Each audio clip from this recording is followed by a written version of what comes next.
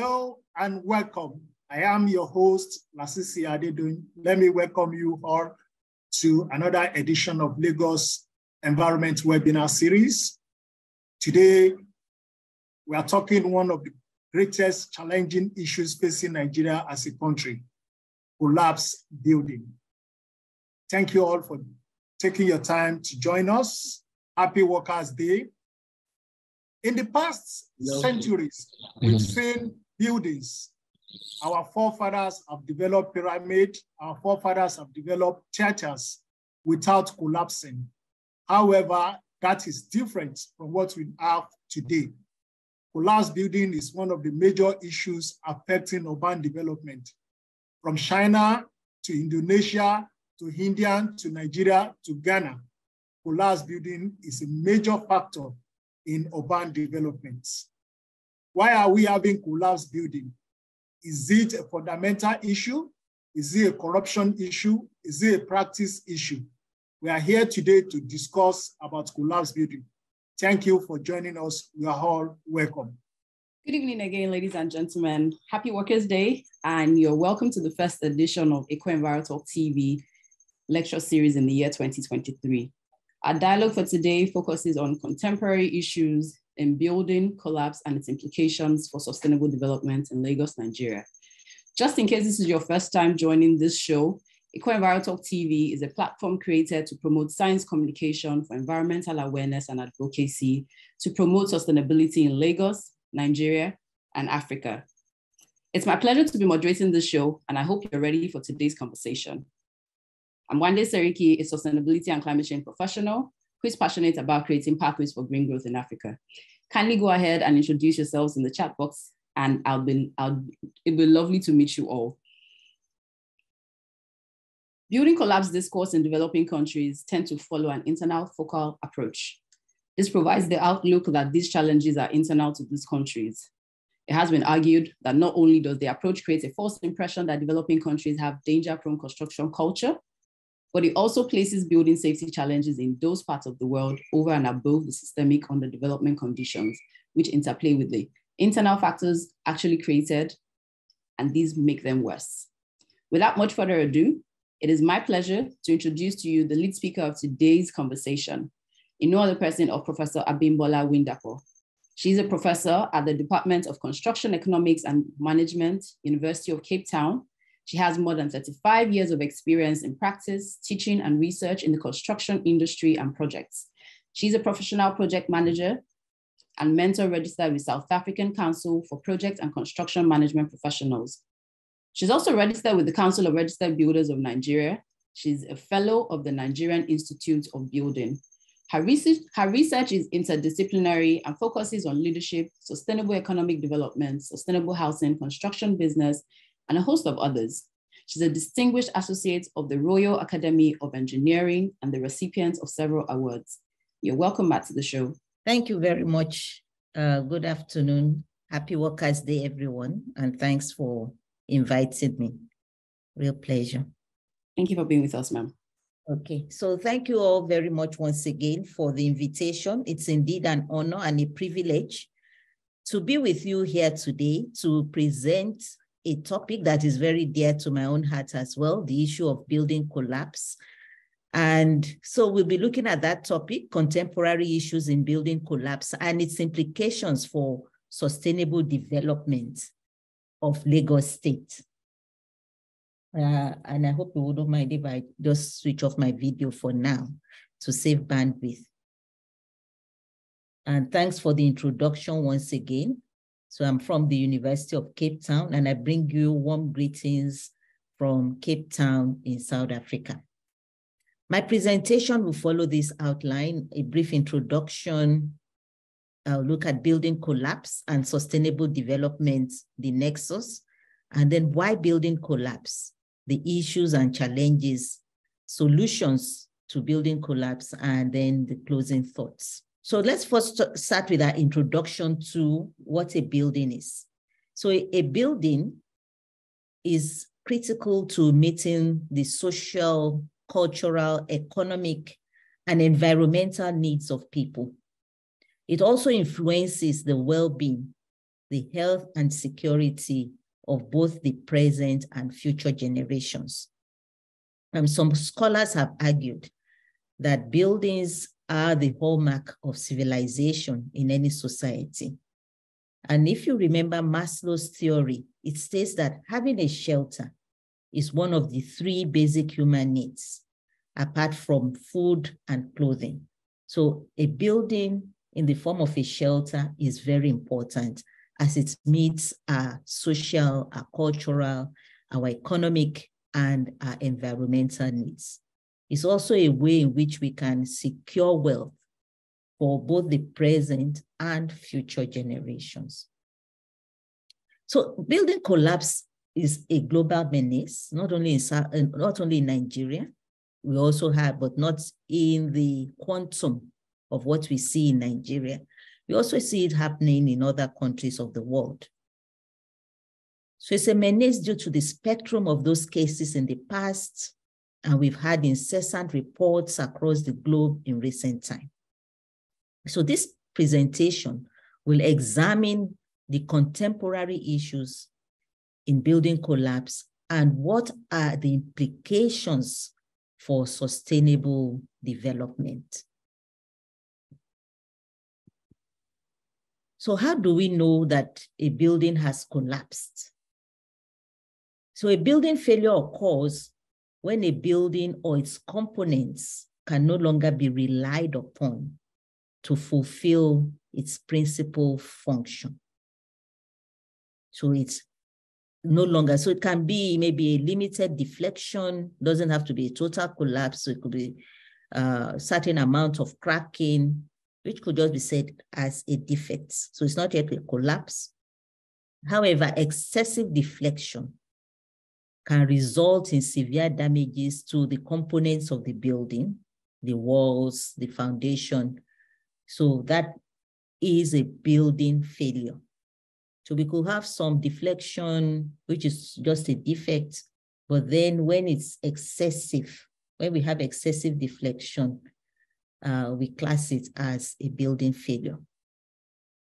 So it happens when the building, there's a total loss of bearing strength, which results in a sudden breakdown, physical deflection, or falling apart of the buildings.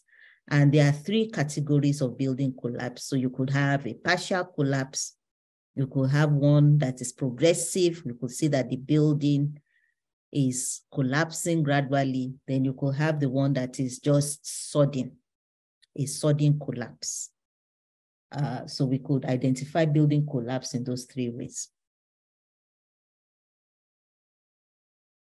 An overview of building collapse in different parts of Nigeria, the reports that we have from 2000 to 2019, and which we can update to 2023 as well, reveals that the residential buildings are more prone to collapse in Nigeria. So what does this infer? This infers that it will lead to more loss, more tragic losses of uh, lives are lost because people reside in buildings. So if it's a commercial uh, structure or an institutional and office building, most likely maybe people will have closed from work or students will have left the school or they wouldn't be there 100% of the time. But when it's a residential building, there are always people in the building every time. So the loss of residential buildings is much more tragic. And when we have more buildings uh, that are residential buildings that are that collapse, it's a source of concern to everyone involved. So this should be a source of concern. So where's the link between building collapse and sustainable development? What does, how does building collapse impact sustainable development and how can we link uh, the building collapse with lack of sustainable development. So there are five elements of the principles of sustainable development that should be incorporated into building construction. Five elements are identified.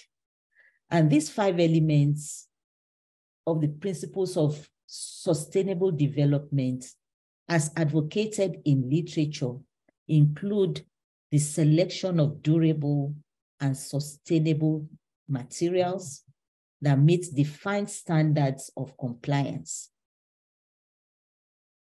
So we need to select building materials in such a way that they comply so that they are, they don't break down or are in place for a long time. So good materials that are standard. Then appropriate site selection as well.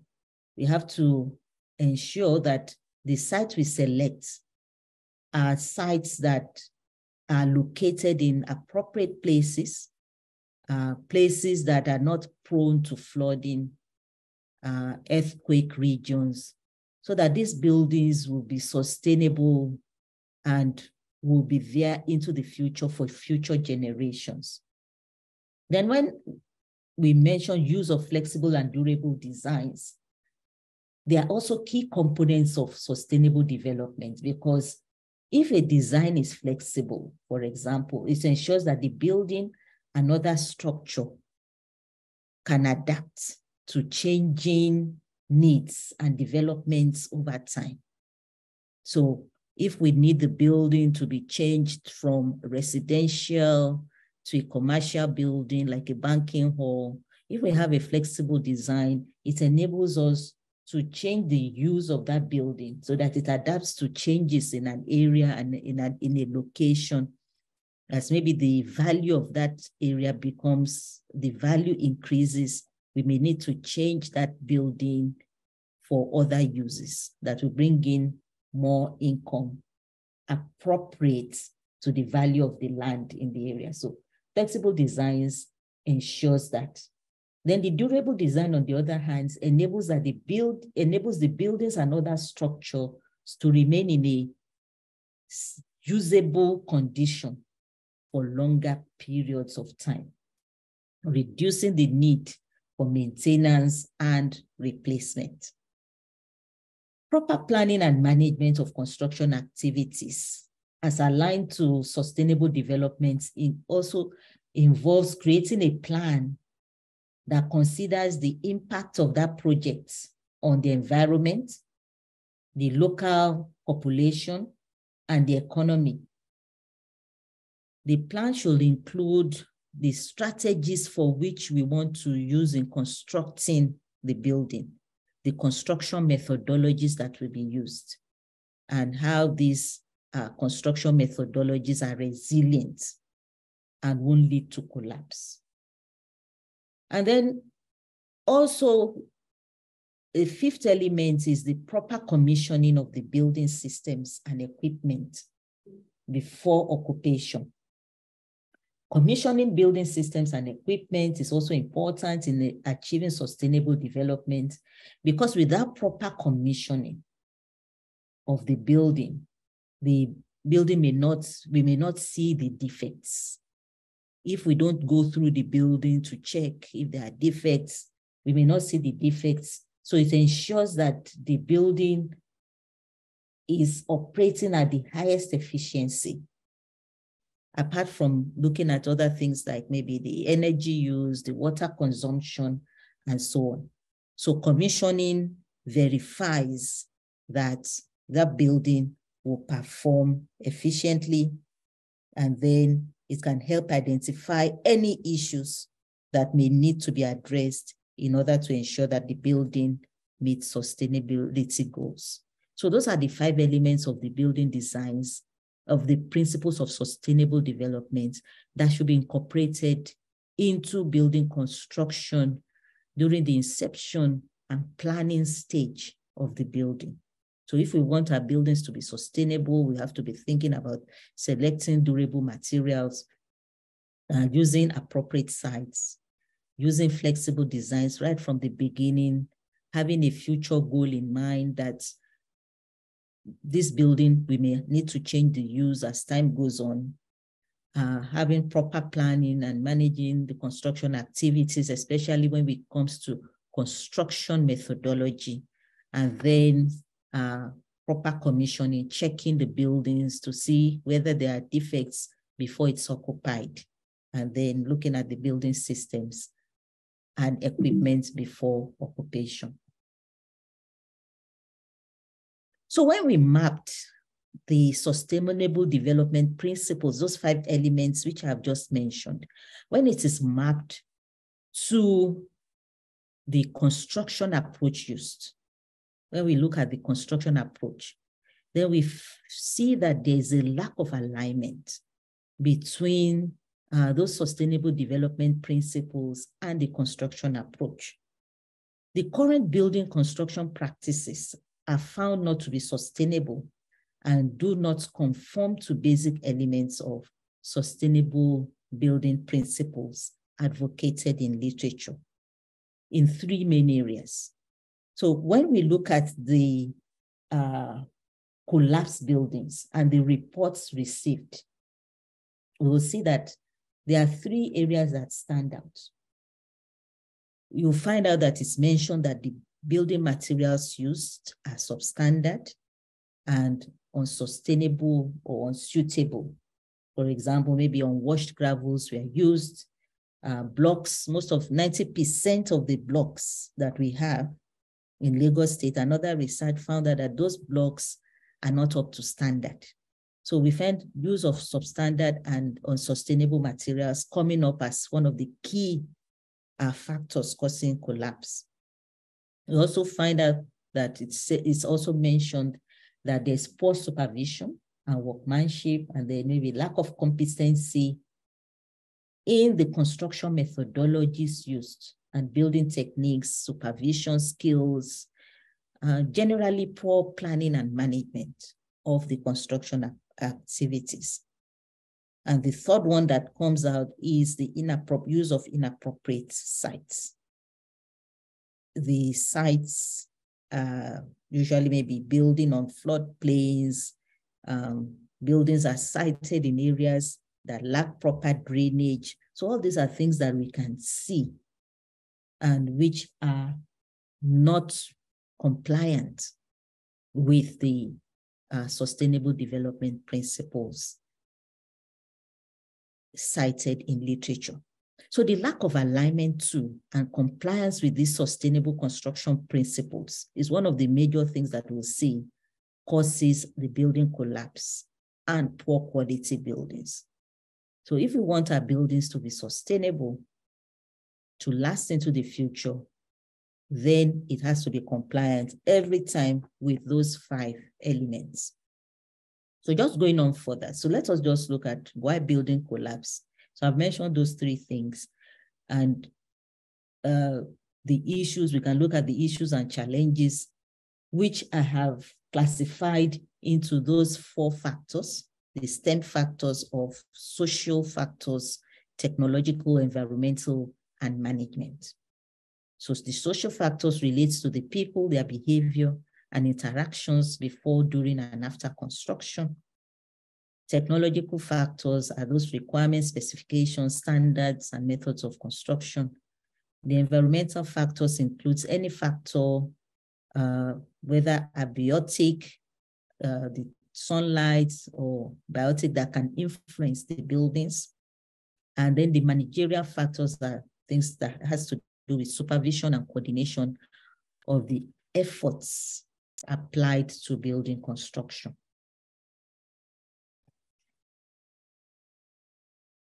So just going deeper into the social factors. The indicators that we have very, uh, the, the impact of those social factors on building collapse. Indicators include that we have recalcitrant owners refusing to comply with directives, the clients and developers cutting corners, not engaging the services of registered construction professionals, in the design and management of the building construction process, making use of substandard or defective building materials. Some contractors and owners or developers use unskilled workers, poor workmanship, and they produce shoddy work.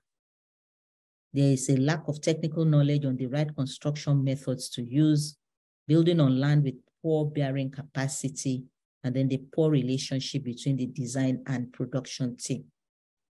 So that poor relationship is uh, that image that we have here, that model that you see here. So once the construction team and design team, if the design team does not understand the capabilities of the construction team in a local context, if they fail to understand what how they can build, what methods they use, and then they design things that are foreign, it could also lead to building failures. That's what that means. So the context of social factors is that the behavior, it has to do with behavior or interactions which may be hidden and not noticeable. We cannot say, oh, this is what happened. This is why they chose uh, substand, substandard or defective building materials. It's in, within a context where we find unethical conduct exists, such as corruption, negligence, bribery, bid cutting, and so on. And then maybe the rules and standards available do not really impact on what is done, but is actually counterproductive.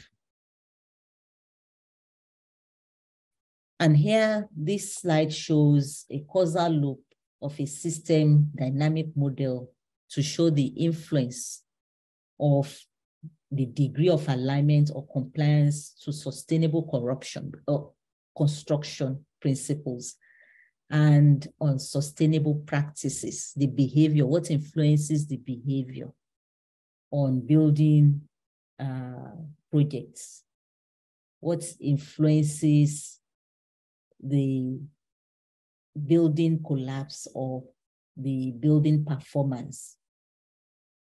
So what we find, what's this uh, causal loop shows, because I did this kind of, I used the a model to model the economy based on the different economic periods in Nigeria.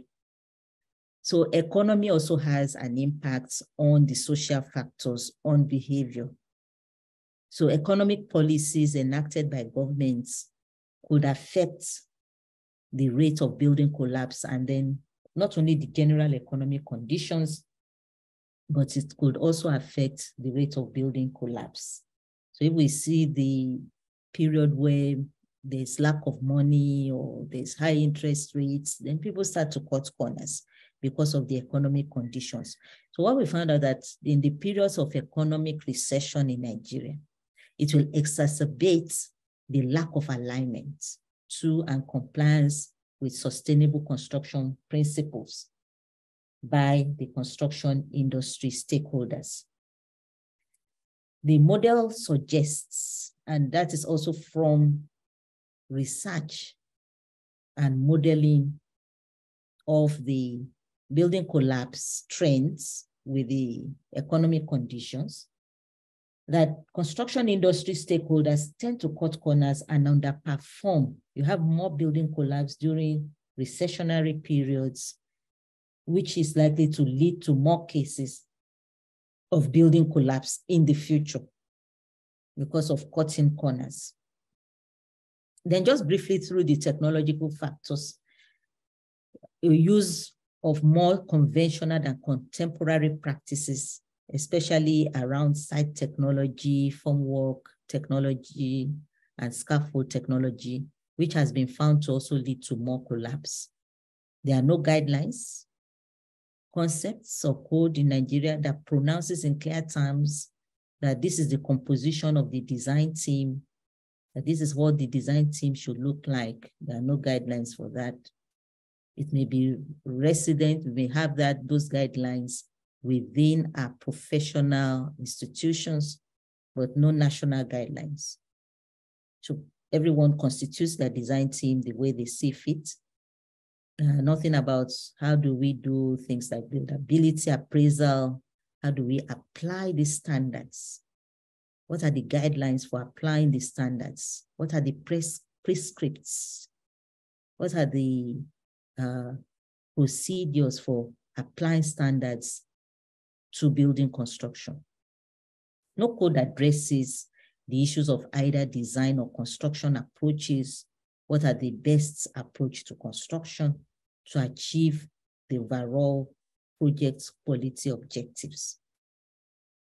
Construction industry and societal objectives. We do not have any, we may have a national building code, but it hasn't yet been broken down into guidelines or prescripts that this is what you have to do to do. This is the blocks you have to use or something, or this is how you have to use it in terms of construction methodology in order to achieve these objectives, these quality objectives. Uh, we find out also that properties of 90% of uh, sandcrete blocks produced are lower than is specified and other materials as well. Nothing to check, although we have the Standards Organization of Nigeria, but these blocks are still being produced and they are still being used. Uh, many contractors are not aware of the techniques involved in construction or the science of materials used. So most of them are just in business. They don't know the science behind the materials used. So moving forward, when we look at environmental factors, uh, building deterioration or depreciation can also be traced to the material elements as well as the composites used in construction and how they degrade, how they wear them. So these materials exhibit different reactions when exposed to the elements, man-made conditions, and how they are used. So they can wear, these materials wear and tear depending on where they are exposed to. So if you have uh, buildings or steel construction, for example, beside the beach in Lagos, where they're exposed to salt, the salt contents for the beach from the beach may uh, where these materials become may corrode, the materials start corroding. So the geographical location and prevailing conditions of the immediate environment, environs of the building have a significant effect on the materials that should be specified. Building on floodplains and in waterlogged areas as well will lead to the settlement of the building in time. And sometimes when this settlement is uneven, it will lead to the total collapse of the building. And then we could also look at the managerial factors. In all the building collapse cases documented, no professional builder has been found. So professional builders are also one of the professional professions recognized by the government in the construction industry. They have, there was none engaged in the planning and management of the construction works of those buildings that have been documented as collapsed buildings. Also, it's found that the use of incompetent engineers, either during design or supervision stage, uh, and improper design will lead to failure of the buildings, having improper, incompetent contractors, making use of faulty construction technologies, especially when it comes to the um, shoring and then the support, formwork support for concrete uh, structures and concrete slabs and elements, poor town planning review and development and monitoring control as well, limited monitoring and control of work under construction is also a factor. The non-compliance with specifications or standards by developers and contractors and inadequate supervision have also been found to lead to building failure. Moreover, there is a gap in the management of construction uh, projects in Nigeria, which has also been found out in literature to lead to building failure. So my take on how do we prevent building collapse? So I have like five slides that um, lists the types of prevention of building collapse leading to more sustainable construction, and more sustainable development. So the first one is the need for sensitization and awareness of building collapse consequences, the consequences for non-compliance and benefits of compliance needs to be communicated. So there needs to be sensitization. So what is the consequences of non-compliance, which is the loss of building, loss of lives, and then the benefits of compliance, which is like sustainable development. We have things to show. Uh, we don't have loss in terms of properties and lives uh, through our practices. Then revision of existing building codes in Nigeria to incorporate sustainable construction principles like the social, economic, environmental, and technical principles that is more alive, more, uh, not only the codes, but we have more prescription with the codes as well. Development of bylaws for Lagos, metropolis, and other metropolis in Nigeria based on the geographical location, because the location also differs so what can be applicable in Lagos? What is necessary, like building, like I mentioned, water uh, flooded plains, the ocean, the salty water, and so on, has an impact which may not be the same for buildings being constructed in Abuja, for example. Then government must maintain a modernized, efficient, and user friendly statutory building control regime, modernized by maybe making use of more um, auto automated processes, uh, no need to be submitting paper documents, but more efficient. Um, the building permits approvals should be processed quickly, and then there must be more uh, checks and balances. The building control regime should be much more proactive instead of being reactive. Not after it has been built, then the structures are demolished. There must be more proactiveness.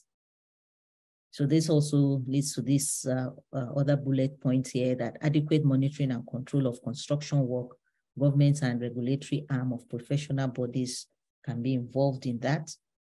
Then more maintenance of existing buildings. There needs to be inspection and um, review and documenting the condition of our existing buildings, if they are still fit for purpose. Use of smart technologies, uh, such as sensors in monitoring the condition of existing structures.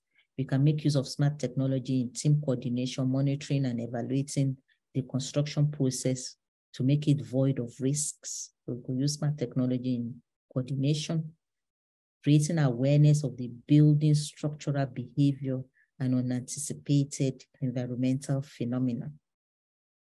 Use of only construction materials and components certified by the Standard Organization of Nigeria, which also speaks to our sustainable development principles, where we have to make use of standard materials that do not deteriorate quickly. The use of appropriate approach to the planning and management of construction projects. So when we uh, look at uh, the use of the construction management documents, the quality management plan, like a professional builder, said one of the requirements for approval. So they'll have documented the quality management plan, the different activities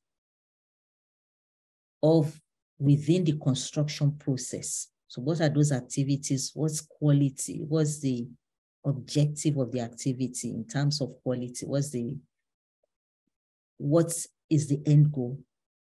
What is the standard? Do we what standard do we need at the end of this process? Needs to be documented. Then also the preparation of a method statement, for example, by builders the professional builders will also identify those areas which may not be safe and which more focus, there needs to be more focus on those areas and how can we prevent collapse and ensure that those activities are done in a standard way. So this method statement will outline how the construction work will be undertaken what are those risks involved and how these risks will be addressed. And this should also be a document required and submitted in anticipation of building approval.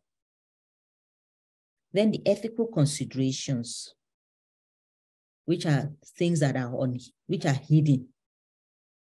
Every aspect of building planning process require proper supervision and quality input by all the registered professionals in the construction industry.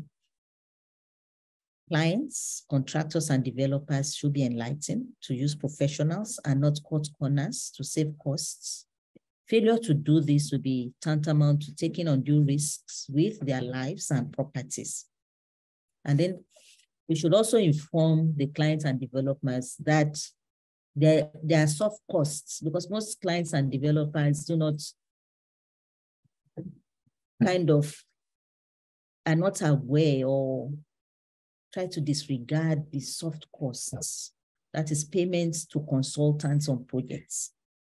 Payment to consultants on projects is usually about 20% of the total project costs. So these soft costs must be set aside by the clients and developers for proper engagements, proper monitoring and control of the projects by the consultants. So they must make provisions for the soft costs. If your building costs 1 billion, then you must set aside at least 200 million to engage appropriate professionals, the designers, the engineers, the architects, the construction and the build professional builders to help in monitoring and controlling the processes, the building construction process as it unfolds. So adequate provision must also be made for those soft costs. We've talked about use of competent construction professionals for the design and supervision of the works. So it's from these uh, soft costs that the developer and client is able to afford the use of those competent construction professionals to design and supervise the works. The scope of services and responsibilities of the registered professionals to also be clearly outlined in the revised building code. Then the ethics of the profession should also be maintained. Registered professionals should not undertake work for which they lack competence. They should only undertake work for which they know how to do it. They should not take on work for which they lack competence. And to ensure the competence of the professionals, professional bodies, and registration councils in the construction industry, working with the planning authorities and the government, should always provide specialized training to update the skills and knowledge of the professionals through continuous professional development courses. So in closing, in the future, what I see is that it's likely that the construction industry stakeholders will be reluctant to do away with unsustainable practices because it's also already part of them. Therefore, will I envisage that there will be more cases of building collapse. And this will happen if the government does not take proactive action by ensuring and enforcing compliance with sustainable, with the sustainable construction principles. They are just fine. If we ensure that we use good materials, uh, we ensure that uh, sites are selected appropriately and proper design is used based on the site that has been selected. If we use flexible and durable designs, if we properly plan and manage our construction activities and if these buildings are properly commissioned, then we may, able, we may be able to arrest the incidences of building collapse. So just to know that building collapse has very serious implications for the socio-economic development of Lagos State and Nigeria as a whole, and must be tackled decisively in order to, to secure a more sustainable future. Pre prevention, they say, is often said to be better than cure. Thank you all for your attention. Thank you very much for listening. And I'll stop sharing. Over to you.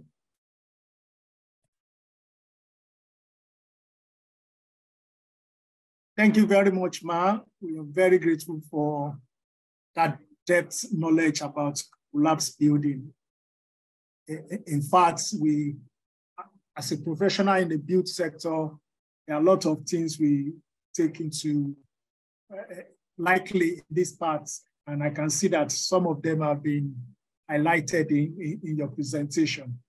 Uh, just a recap of the key uh, points. Uh, the use of STEM, you know, basically, yeah, looking at factors contributing to collapse building, and she, she has been able to make it uh, for us by putting it in a term that everybody is common with, but using it in, in collapse building, social, technological environment, and, and management. Yeah, if it has to be with cutting corners, if it has to be with corruption, uh, technology, using the best approach, and environmental. Yeah, people want to build close to water body, people want to build close to ocean, but the, the cement they are using, the materials they are using do they comply to the environment which they, they want to build? Also, management. Yes, most builders don't want to pay for cost. Uh, they, they always don't want to pay for professionals. And you, in, in the presentation, you said 20% should also be, be set aside for, for professionals in, in, in that. Also, to prevent collapse building, sensitization is very, very important. And Building code is, is also very, very important. Yes, Nigeria, we have a national building code, but do everybody in the build sector know about the national building code?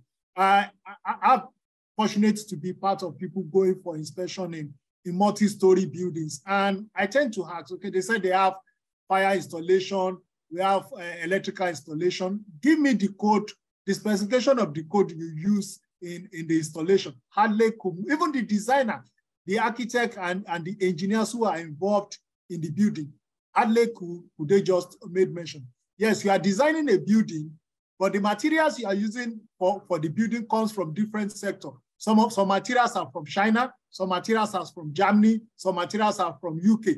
Each of these countries have different uh, codes for their materials. So if you are building and you are building materials from different countries, that have different uh, building uh, code specification that can also affect uh, the, the, integrity of, of the building.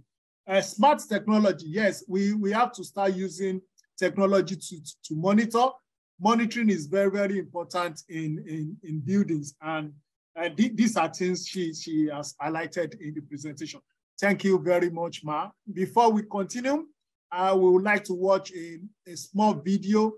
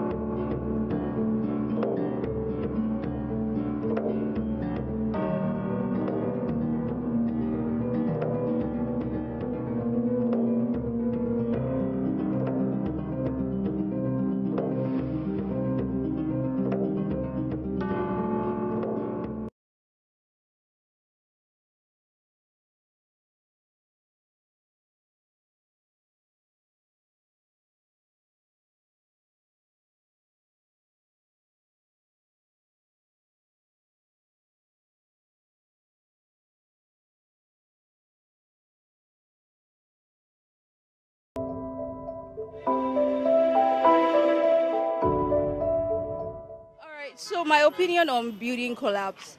Personally, I feel like uh, two things are, you know, basically causes this stuff.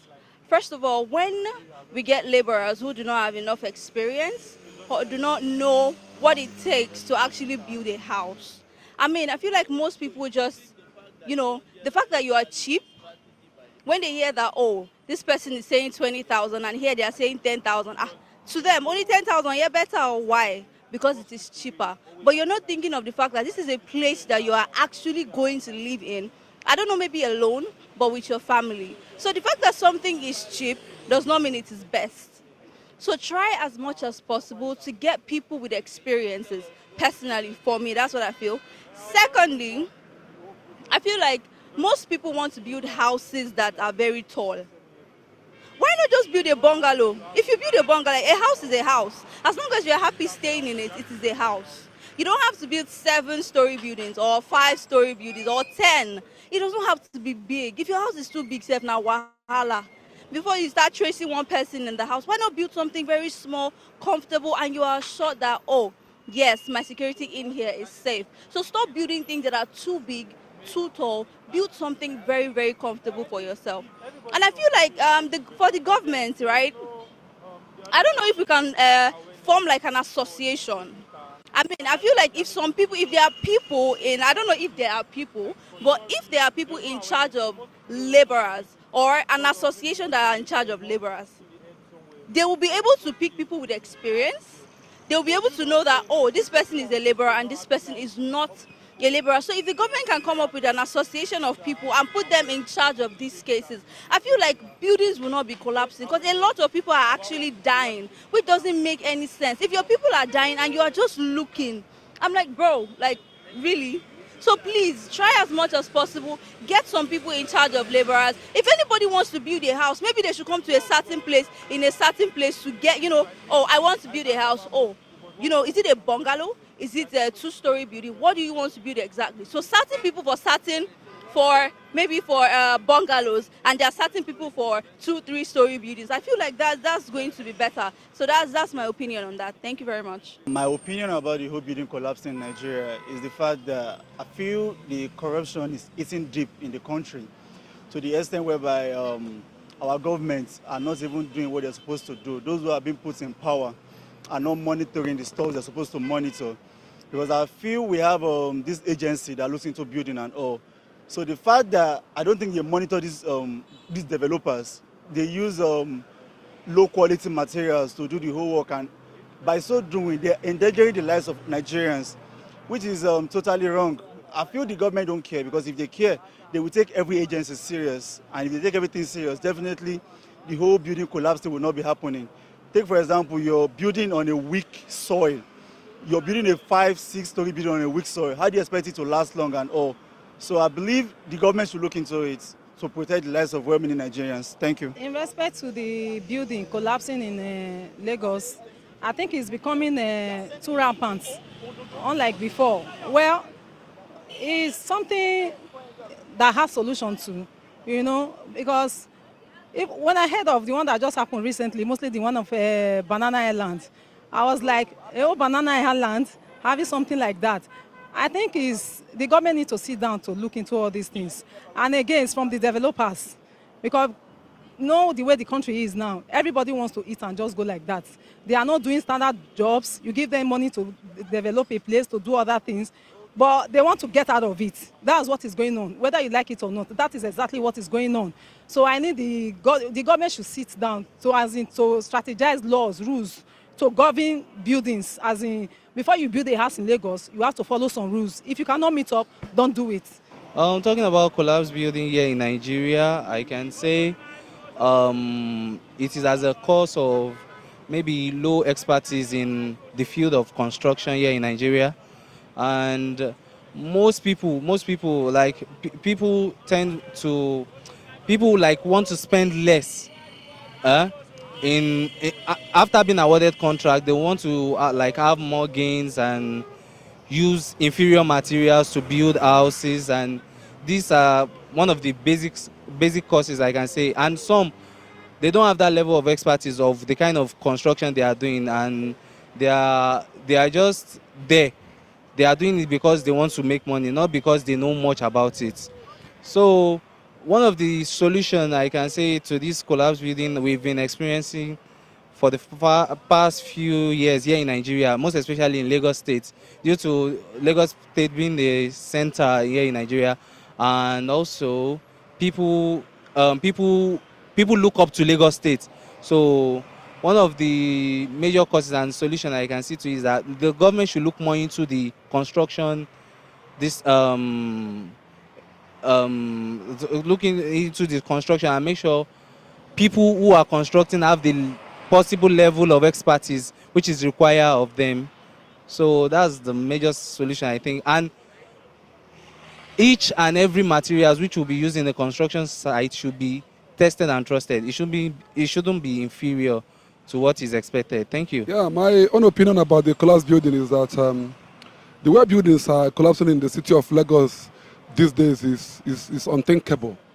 It's just unacceptable in a society like this and at this time.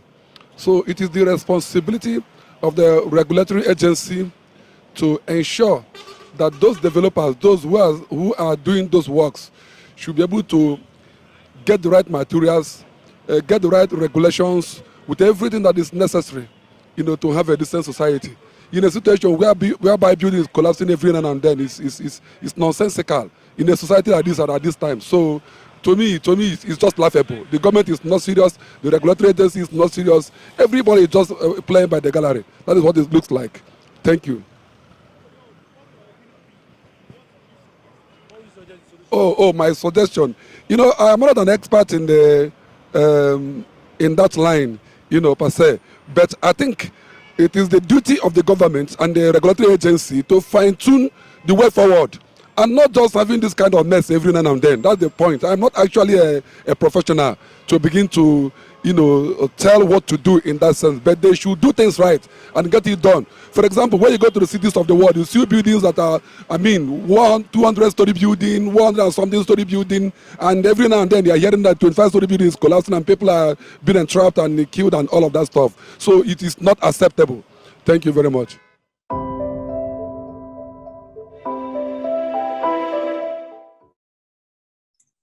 You're welcome back to the show, and thank you very much, Professor Oyedepo, for your for your comments, for your for your presentation. Um, very enlightening. Um, so now we're moving into the panel session, and I'll be presenting the panel members to you.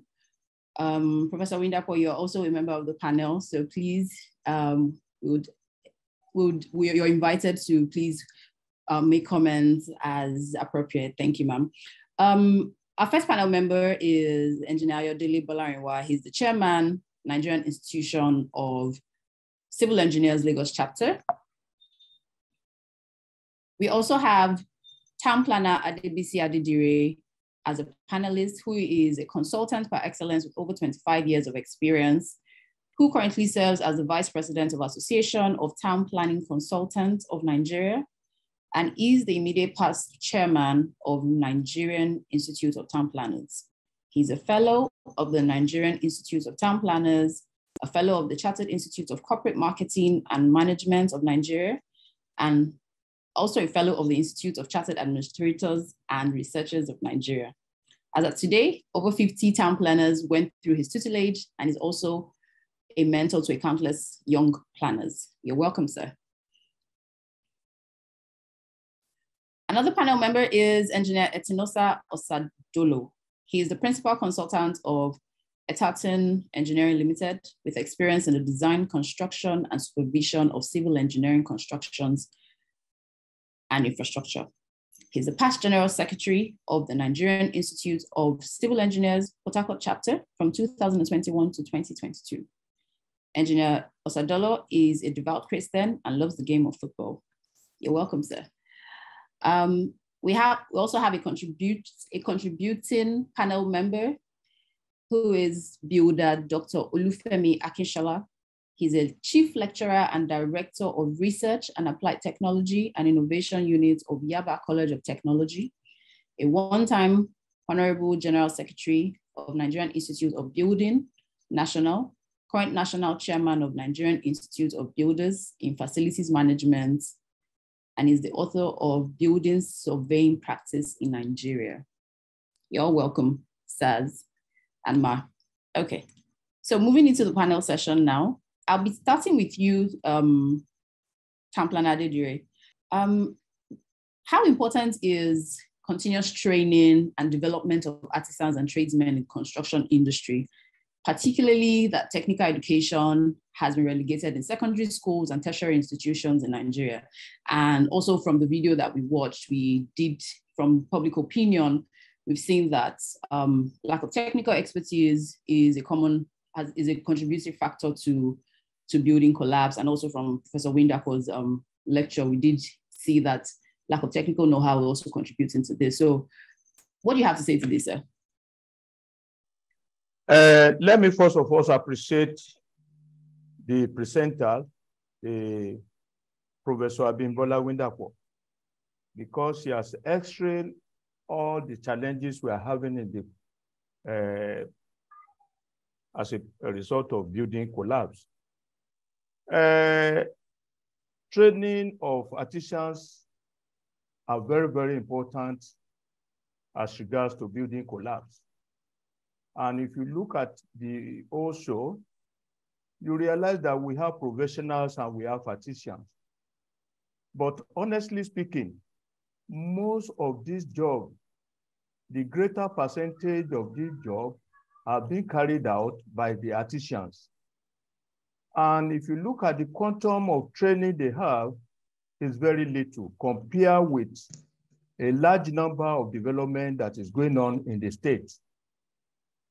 Unlike in the past, we have people that are learning this job, masons, carpentry work, iron bending, name it, painting, POP, and all the rest. But what we realize today is that even the school are not training these artisans again. We don't have more of technical colleges around. Even the secondary school we are having, they don't deal with all this. Unlike I could remember when I was in secondary school, we are being taught how to draw building plans and all the rest. But today is no longer in existence. So there is need for us to have a curriculum that we incorporate into the system where artisans will be training.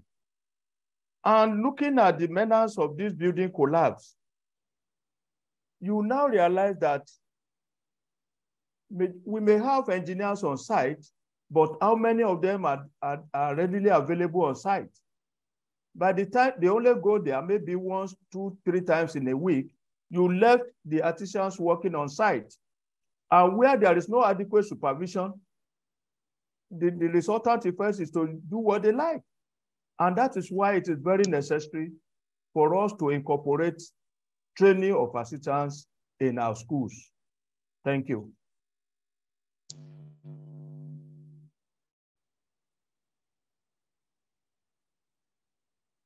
Thank you very much, sir, for your for your insights and your response to that question. Um, just a few a few a few announcements. Um, I've just been informed that we have um, engineer Adeyemi, a former, a former permanent secretary of Lagos State government, who is also a contributory panel member to the conversation. So you're, you're very welcome, Stan. It's a pleasure to have you on the show with us. Um, and deep apologies from engineer Bolarinwa. He's unable to join us because of technical issues. Um, so we're moving, we'll continue with the panel, with the panel session. Um,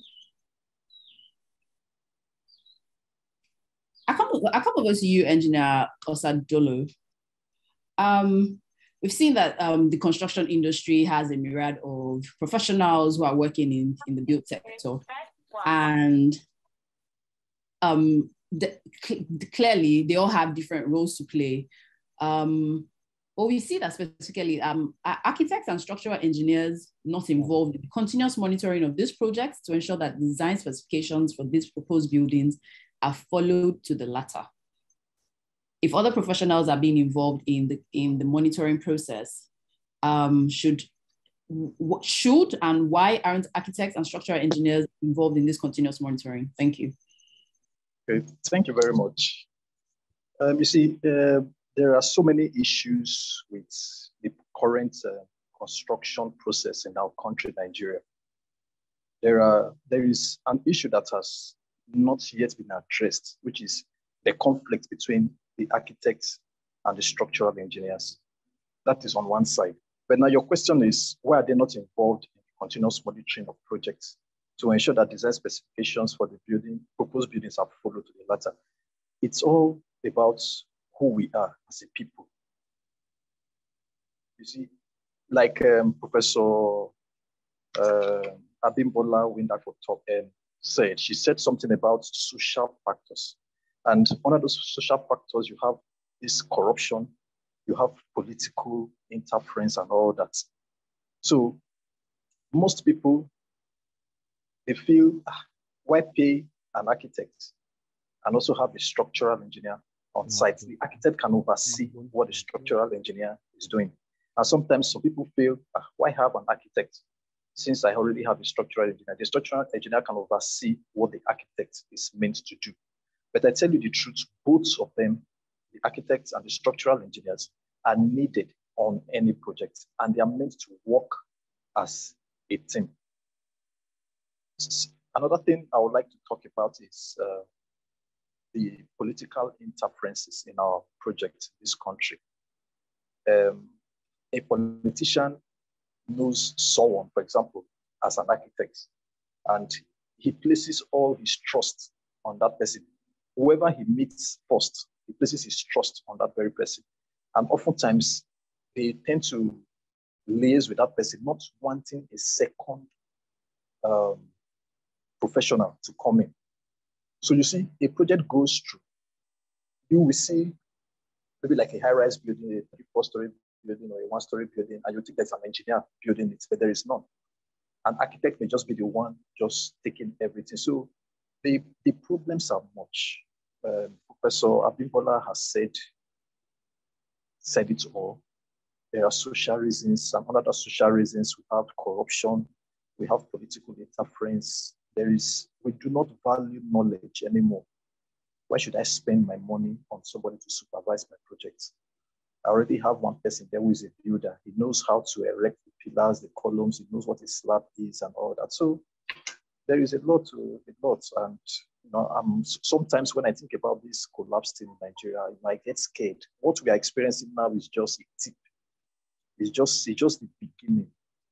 In fact, I expect a lot more to come down. Thank you very much. Thank you for that response, um, Engineer Sajolo.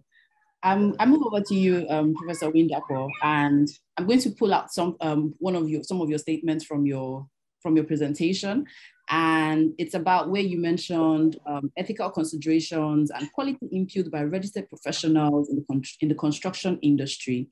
So my question to you now is: Is it possible that government can institute a peer review mechanism process where designs are submitted for approval and they can be forwarded to other professionals in the built environment sector before an omnibus approval is given.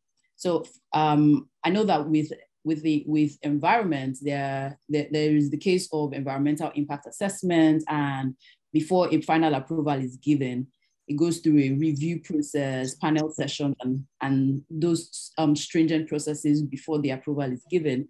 Do you think that this is, is, is, is, is similar scenario could solve these challenges that the built sector is having in regards to building collapse? Thank you, ma'am. Yeah, thank you so much for your question. Um, I want to believe that the peer review process should happen within our town planning departments. So if there's any, it should happen in the government departments. It should be because I, I, I, the question I think you mean sending it out to other engineers who are in private consulting. Is that what it means? Is that what your question means? That sending it the, the designs out to other consultants, well, all, private, well, not all, in the government department. All relevant stakeholders, if it's private, um, government, as long as they're relevant stakeholders and each person, each professional gives their input to why okay. this product should fly or not. Yeah, and so that is the purpose of the government approval process. So once the um, designs are submitted, so it goes through that peer review mechanism process where the designs are reviewed by the professionals in the government planning and building departments before government gives approval. So that is what happens even now. That's what should happen, that it goes through. But, but the problem we have is that this peer review process takes time. So it can take five years. It takes so long before an approval is given, even more.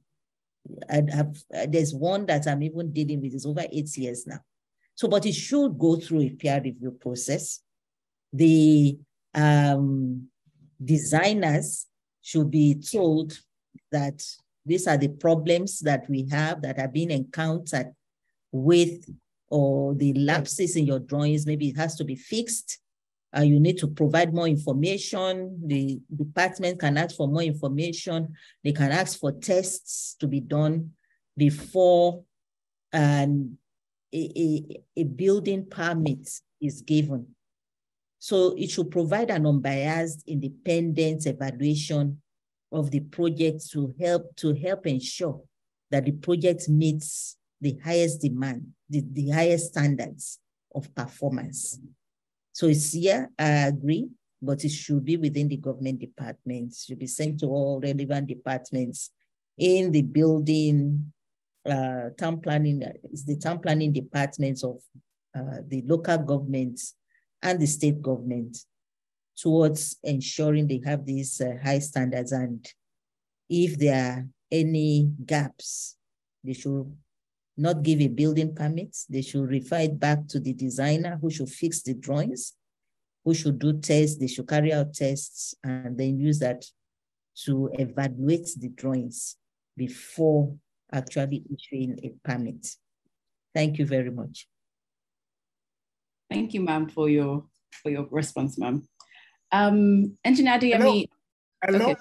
Yes, sir. Yeah, ma'am. I think let's let's let's take it further. Okay. Yes, we know that it is government departments and agency officers that are responsible for cross-checking and checking approval. But if we have a, a review mechanism, if we have a review mechanism where uh, government of Lagos states, there's a national body that review. Yes, government officials have gone through the drawing, they've gone through the checkings, and we have professional body cross-checking each other, like an architect do a design, and it is sent to another architect, a senior architect to cross-check. Probably can that help us? Because everybody keep on putting the blame on government, but the people certify an architect is their professional body. They give them the certification. Most of them are fellows. Most of them are, are registered member of an association. And you find out that the building they are in charge or the structure they are in charge often fail and everybody keep on putting the blame on government. So if there's a review mechanism, okay, we ask each and every of the association to review their individual works and see maybe can that help us? And that's what I think we are, we are trying to it seems as if town planner Didire wants to answer. Yes, yes. You see, I want to give you an insight of what is happening in Lagos State now. As a result of this incessant building collapse, I think Lagos State set up a committee recently, and we are all invited, I mean the stakeholders, all the professional bodies, building, architects, engineers, town planners, name them. So they want to evolve a strategy where there will be a certifier that will encompasses all the built professionals. So that before a planning permit is granted, all the professional uh, members in the built environment will first of all screen your plan, your proposal, and making sure that it is perfectly all right before you proceed to obtain planning permit. I think they are now in the process of doing that. And I believe by the time that one really uh, takes off, it will help at reducing the use of quack and at the same time ensuring that what you are going to put up as a structure is in compliance with building codes and all other regulations. I think with that, it will go a long way at reducing the building collapse in the state. But what we have in the past, we have agencies that are responsible for granting of planning permits. We have Lagos State Building Control Agencies, who that is saddled with the monitoring and issuance of uh, stage certification at every construction stage. And we have LASPA, which is Lagos State Building uh, Planning Permit Authority. They are the one granting planning permit for any construction. And uh, they have various departments where you have town planners, engineers, uh, name it, civil structure, that will have to evaluate your design before approval is granted. But what we used to have is that by the time planning permit is granted, it is Nigeria doesn't lack enacting laws, but for us to abide with the law is a major problem. There are cases of issuance of planning permits, having looked at all the regulations and making sure that it has passed the test of planning requirements and the approval is granted. But by the time the client goes back to the site, you now realize that it will change from the plan uh, approval granted in time of density, in time of zoning, in time of use, in time of height. So all these things attributed to what we are having today as and the resultant effect is building collapse. So for us to vet or scrutinize your planning uh, proposal it's not, it's not, it's not, it's not only the solution to the something, but the real execution of that project on site. Thank you.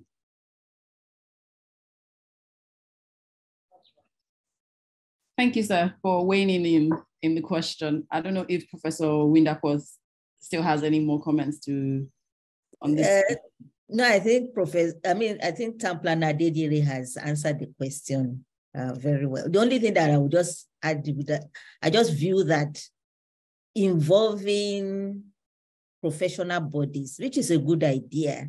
I think uh, I'm just looking at it as we are treating the effects and not really the cause of the problem. And town planner Didire alluded to it in his submission, that at the end of the day, it's the execution that matters. It's not really in the granting of town planning approval. So we are treating effects, we are not really treating the cause. I view that having that other layer again is going to introduce another layer of bureaucracy, costs, and then potential delays in the approval process because now you have to consult seven professional bodies in the construction industry before your approval is granted. Before we were only dealing with LASBCA, we are dealing with LASPA. It takes five years, it takes eight years before you get your planning permit.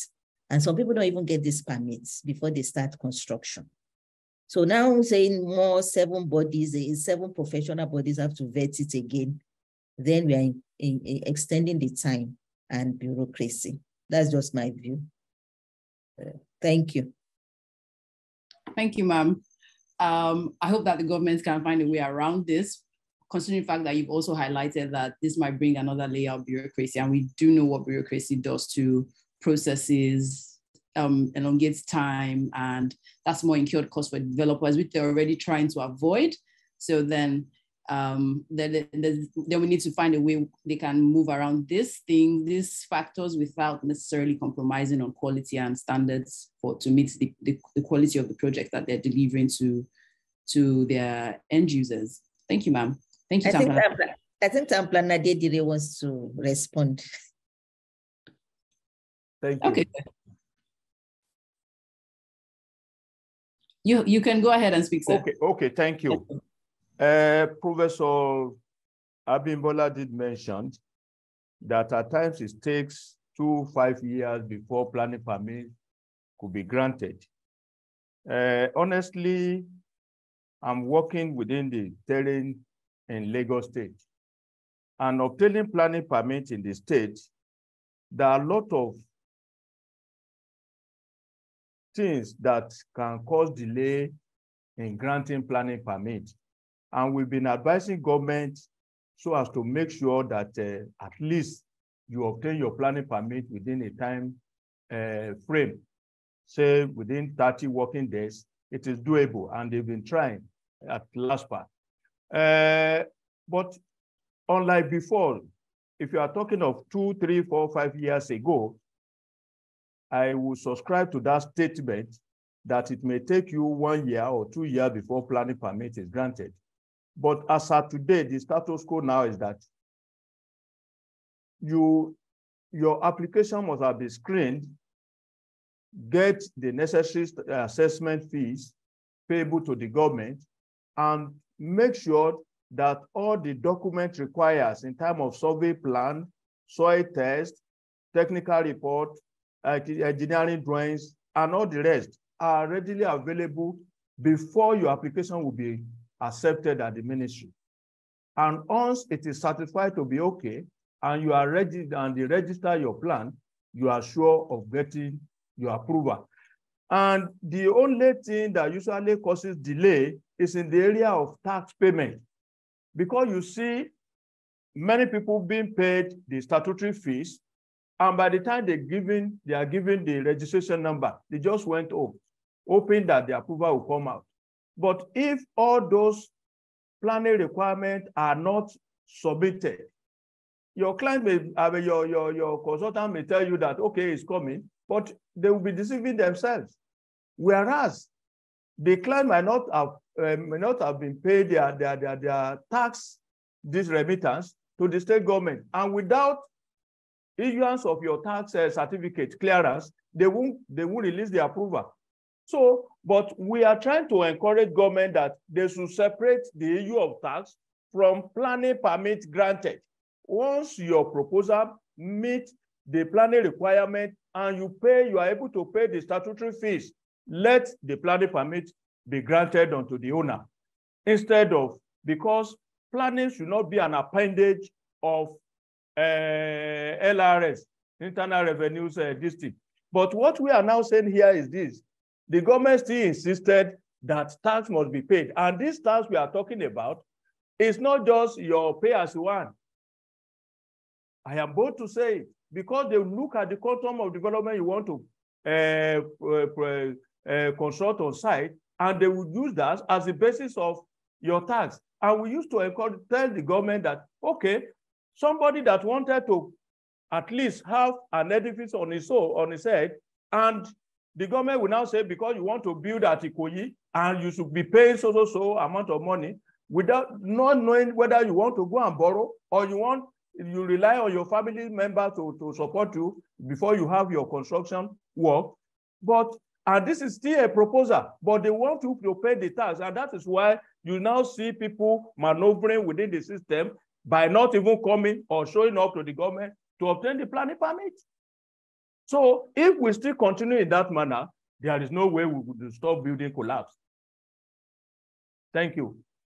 Okay, thank you very much, sir. Um, few points that you've highlighted here. Tax should not be related to, to building projects. Yes. And because of what you've just mentioned, I'm going to have to invite um, the past permanent Se secretary of Lagos State Government, Engineer Adeyemi, just to provide his thoughts on this, because I know that if um, and just as the example that you have cited, if someone wants to structure in, in Ikoyi, I don't believe that the person is going ahead to borrow for residential purposes, even if he's putting up residential, um, if a residential structure, he's putting up a residential structure for commercial, for commercial, for sale at commercial rates. So um, obviously he's, he's going, he's proceeding to, to the bank for some loan and he must have a, a quality of a good quality of um, collateral to put down for this project because these projects that we're talking about are in tens of billions.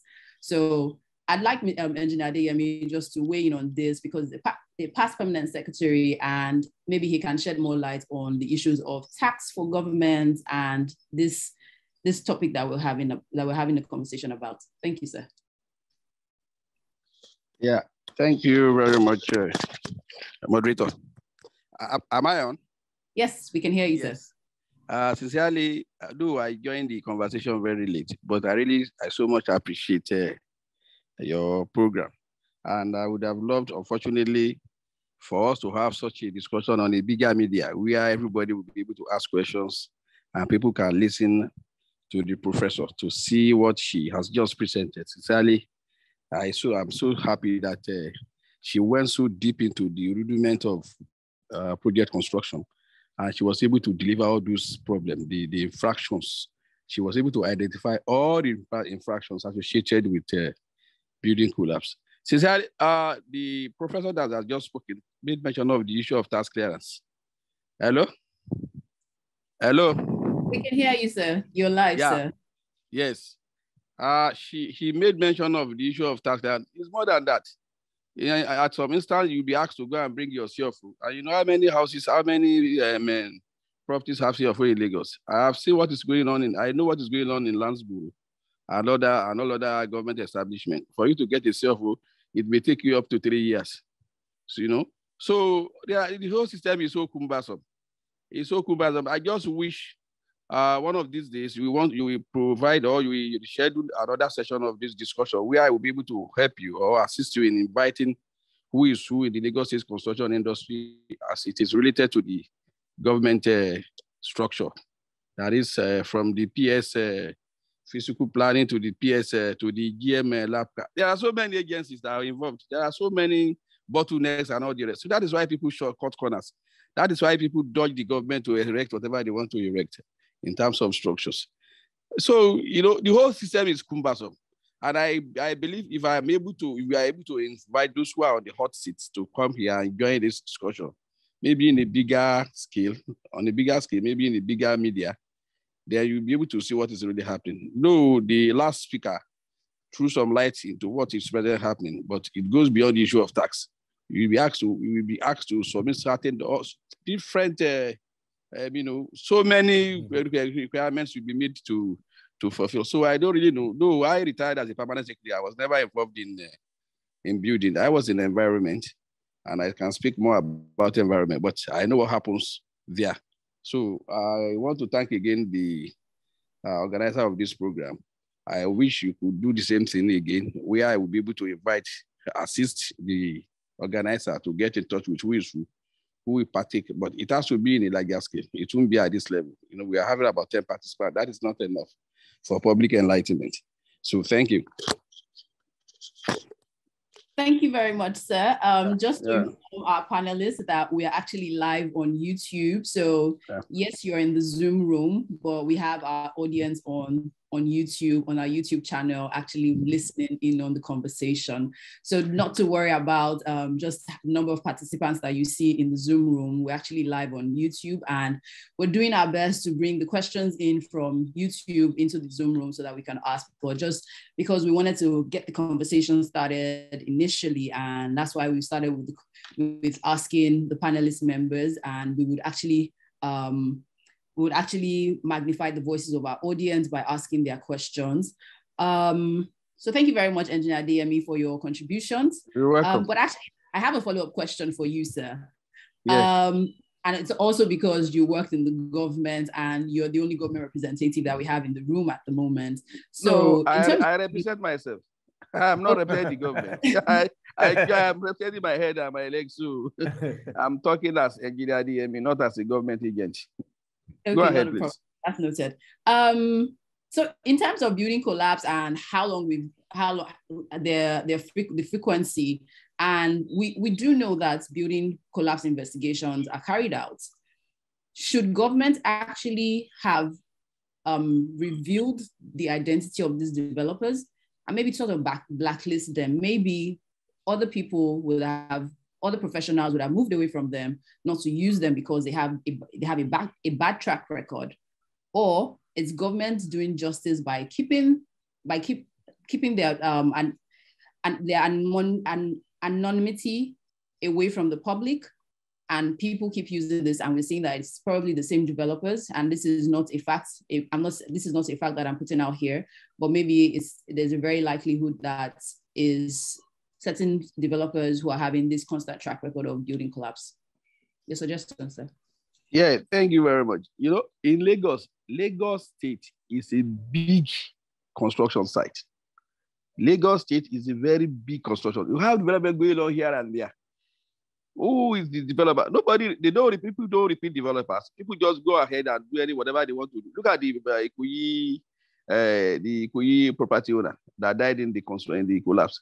He was the one, he was the whole, uh, he was the engineer, he was the, the architect, was everything. So understand? So people don't, it's not as if there's a particular developer that is going on doing rubbish everywhere. No. In, in, as it is today, everybody is an is an expert to himself. Everybody is, a, is an architect, is an engineer. All the developers are engineers on there. Go to Lagos Island, go and see the go and see the rot in Lagos Island. Go and see what's going on there. Eh? You agree with me that there is a, we still have a lot of work to do, sincerely. It, it, goes beyond what we are discussing. I, I thank God the presenter, the professor, uh, uh, I forgot her name now, did a very good work. You know, she extracted everything, and I so love it. I would love to have a soft copy, a copy of this uh, presentation, sincerely. So, you know, it goes beyond the issue of a particular developer. Everybody is doing every whatever they like. You organize a 1,001 agencies to supervise the construction in Lagos. They cannot catch up with the rate of development. They can never catch up. So I just feel that we need to copy a model somewhere else. Maybe we need to go to UK or South Africa, where my professor is, and see what, you know, in other areas, in other climes, it's the local government that manage the local government uh, that manage construction in other clients. But in Lagos, you only have an office of the Ministry of Physical Planning in local government. So everything is pulled down back to Alausa. They have district offices. Very cumbersome system. Understand? So everything you submit, if you submit a building approval in uh, Lekki, and you submit another one in Amu everything will be taken to the district office for visit office now to to uh, to Alausa. So the whole thing is, you know, the, uh, you know, so that is what it is. So we need to evolve a system uh, that has worked elsewhere. That, that is what I think we need to do. And somebody has to come out and tell us this is how it is done so, at so, so, so place, and this is how it is done at another place, before we can come up with a clear, a clean, clear procedure. But oh, whatever we are doing now, sincerely, it's a, bit of effort. But then, sincerely, it, it, gets so messy. If you go to this, to if you go in depth into the this, uh, uh, what is going on in uh, getting uh, an approval or in building construction in, uh, in Lagos State particularly, uh, how do you look at go to Lekki, go and see what is going on in Lekki. Go to go, go to go to Edo area, go to this place where they call uh, what they call this place now, Agungi. Go and see how people are building houses. People are building houses at the level of the lagoon, like at the lagoon level. Their foundation level is at, at par with the lagoon level. Eh? So how do you, who, how, how many how many areas are you going to visit? How many areas will be able to identify? How many uh, infrastructure are you going to be are you going to identify?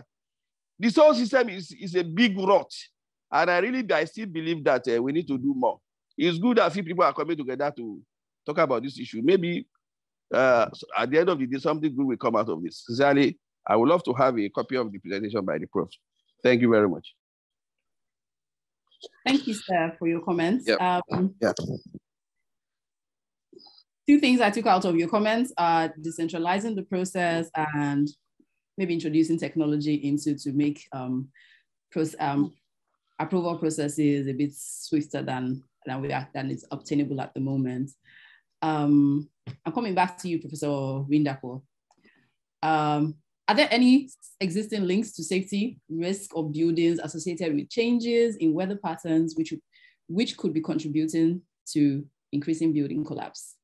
I know that you've mentioned building on site selection mm. and the type of um, land that you're even building on, but with, with current weather patterns changing on a daily basis, do you think there might be any safety risk associated to this? Mm. Yeah, um, there's a growing body of research that shows uh, that changes in weather patterns may be contributing to, it could be contributing factors to the increasing building collapses. Uh, you know, we now have heavier rainfalls. Um, if you look at the rainfall pattern, and um, so there's a group, I'm on a group well, BCBG, you see, they'll say when rain starts to fall now, there'll be more building collapse. So it's something that there's a projection into the future with that. rain, the rainfall is becoming heavier. So heavy rainfall, uh, we are now having heat waves, and with all these things, flooding, rainfall, very heavy ones, there's a, large amount of flooding, and floods will destroy the foundation of the building if it doesn't even carry it away. So very strong floods may even in some parts of, there was very heavy rainfall in South Africa last year in some parts of uh, Durban, unseen before. It was even, I don't know if this happened in Lagos, has happened in Lagos, but the ocean, it wasn't even because of the rainfall. The ocean rose to a certain level, rose about 13 meters. And so buildings that were next to the ocean, so something like that Lekki, imagine if the ocean, the Atlantic should rise to a level of about 13 meters. How many buildings will collapse? So many buildings collapsed. Many lives were lost because of the rise in the ocean levels. So all this is due to the changes that we are seeing in the weather patterns. And it can put additional strain on the buildings if it doesn't even uh, make the building collapse. So heavy rainfall and floods can lead to soil erosion and destabilization, which may weaken the foundation of buildings and lead to structural damage and collapse. Heat waves can cause expansion and contraction of the uh, steel structure. If we use steel, like the steel beams, or we use uh, steel in buildings or concrete structures, so it can cause the expansion and contraction, especially buildings that were not properly designed, that don't have expansion joints. So some of those, you see the bridges are being repaired sometimes, they'll say they are changing the expansion joints. Some of our buildings with um, extensive concrete structures and elements, they don't have expansion joints. So the heat waves that we are having these days can lead to those expansion and contraction.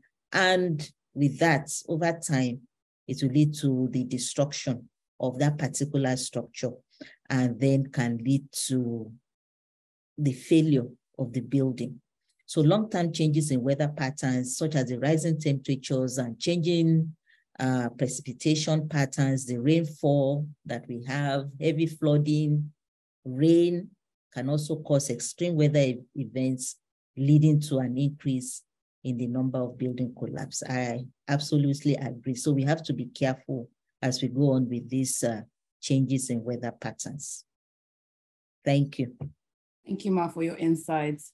Um, just the comments that I have that has come on that has come in now is that the build sector should allow geoscientists take charge of the integral part of building, which is the foundation, imaging of substrata, soil characterization, among other things in the subsurface. So now we're even seeing the incorporation of another professional, of other of another professional coming to the build sector, which should be the geoscientist.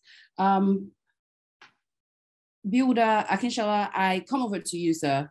Um, as a builder, what steps can be taken to prevent building collapse in Lagos and by extension all of the states where building collapse has been prevalent?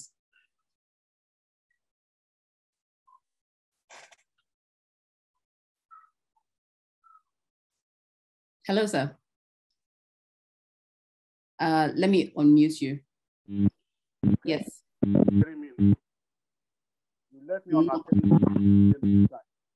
Not clearly, sir. What I'm saying is that. Can I ask that you bring the. Hello? Um, it's quite faint, sir. I think the fan, the fan is contributing to. Yes, and maybe he can take off the earphones actually. If I may ask that you take off the earphones, sir, that might be better. Muted. I don't know why you are not hearing me here. It's not better. It's better now.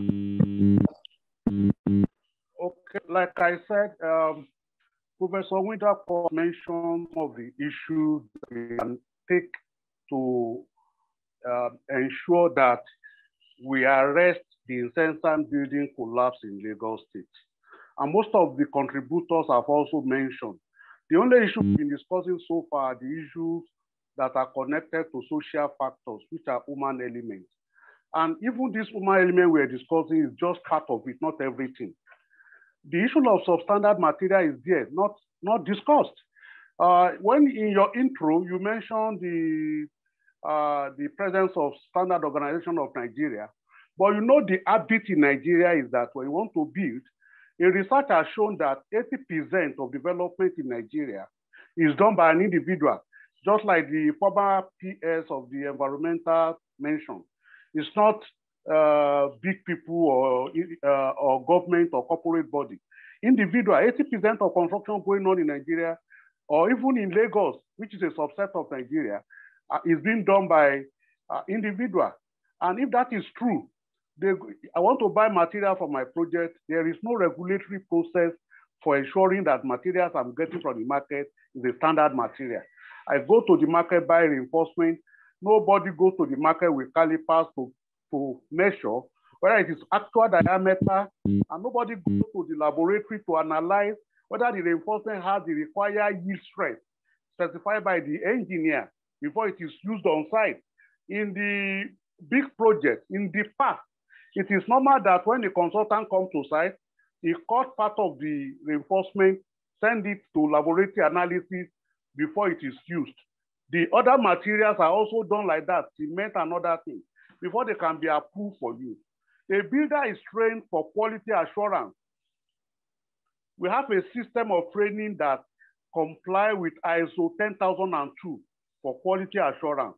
And in that system, when you bring the materials to site, you check and inspect. When you inspect that materials and it has not been tested for analysis, you do not approve it for use. When it has been tested and the result is not yet out, it can only be put, you can only put a yellow flag on it, not a green flag. It is only material that you have a green flag on that can be used for construction on site. But we are not following all those procedures again on when you get to the site today, any materials on site are being used. Nobody know which one has been tested or analyzed, which one was mm-hmm. tested, tested to ensure the quality assurance is, uh, is, is, is ensured. Now, the builders are trained in a way to ensure that not only health and safety, not only quality assurance, they ensure that the building production management process of the construction follow the standards set out for it. And they aggregate all this construction process using the input of all the sub, all the consultants involved in the project, the structural engineering design, the architectural design, the mechanical engineering and electrical engineering design are put together by the builders side to ensure that compliance is enforced. However, where this registered builder or otherwise known as professional builder, not contractor builder that we normally say in the media. Contractor builder may not be registered builder, may not be professional builder. Where the contractor is now being referred to as a builder is not a builder. But a builder is somebody who is professionally licensed by Council of Registered Builders of Nigeria to construct and, and, and carry out building production management process on site. So where is involved, he ensures that the quality associated with each consultant work are carried out on site.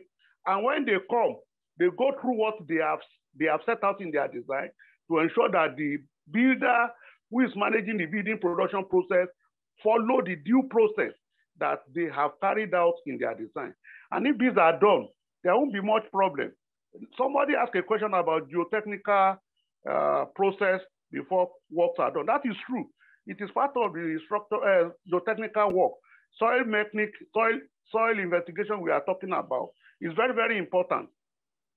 Of recent, I have a project in uh, Dolphin Estate, and my my client was telling me, okay, uh, we I told him to do a soil test. He said, okay, we've just at the at the mosque very close here, we did a soil test there, and because the soil test is very close to this place, and I told him soil strata has it is not the same thing.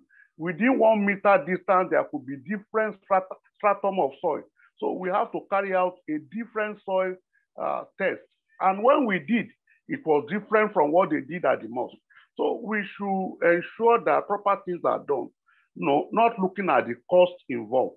And the cost that we are always protecting is insignificant to the cost of the construction itself. Thank you. Uh, thank you very much, sir. I, I'm, I'm showing a picture. Uh, let me show you. Let me show a picture. And yeah, this is a structure in one of the higher institutions in Nigeria. And this structure was built around 10 or 15 years ago. Now they are adding another structure on top. They are adding another structure on top. This is an institution that is, that is training people on building in Nigeria. Now they are adding other structures on it. And you can see they are adding the pillar inside. I don't know. I, am not, I, am not a builder. Can they, can they tell me that the integrity, the piling they did for this building 10 years ago can carry this? What is the justification? Why an higher institution where we have professionals who are training people in the building sector are doing this? I, I, can you help me with this for my own layman knowledge? Is this acceptable? Can any of the panelists just help us with this? Because if people like us who are not in the professional sector, in the build sector are saying this, this is a building that has been done 10 years ago, and they are adding another building by just putting columns in it. Can they, did they tell, can they tell me that the initial piling they did for this building, it's enough to carry it? Is it only the piling, the pillars, or the integrity, the piling they did for the building initially? Thank you very much, sir. Um, Engineer Osadolo, I'll let you speak because you have your hand raised, then maybe we can come back to that, inshallah. Yes, um, thank you. Um, was I think it was you just um, showed us a photograph of um, a story building having another one on it. You see, everything is possible. There are processes you go through in ensuring that the uh, building is you know, um, robust enough to take another floor.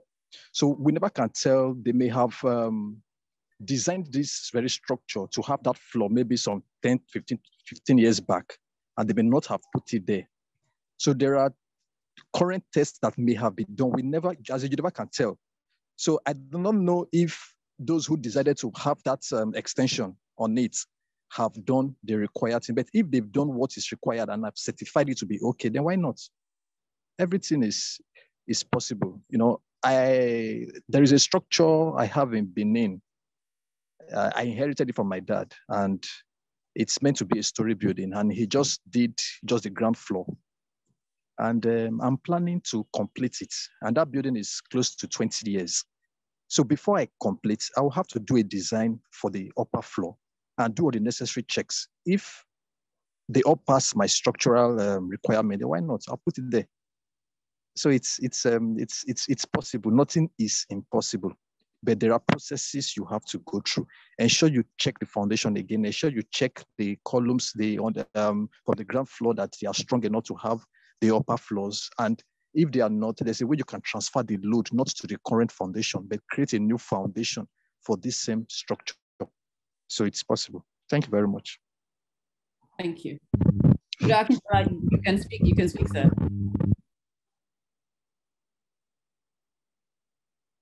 You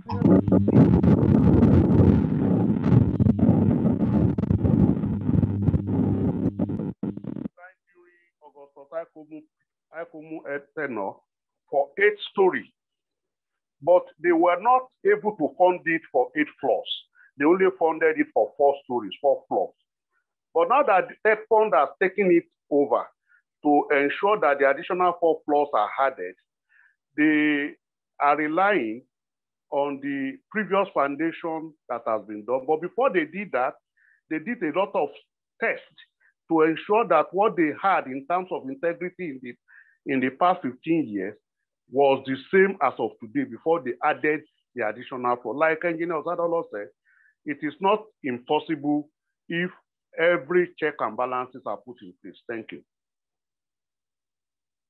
So if I'm on, hold on, sir. Why why I'm asking why I'm asking that question is those are the those are the information uh, the professionals, the academicians need to put into the public. If you look at buildings, building collapse in, in, in Lagos and in Nigeria, people always wants to add another building or another structure on top based on the justification that somebody else has done it.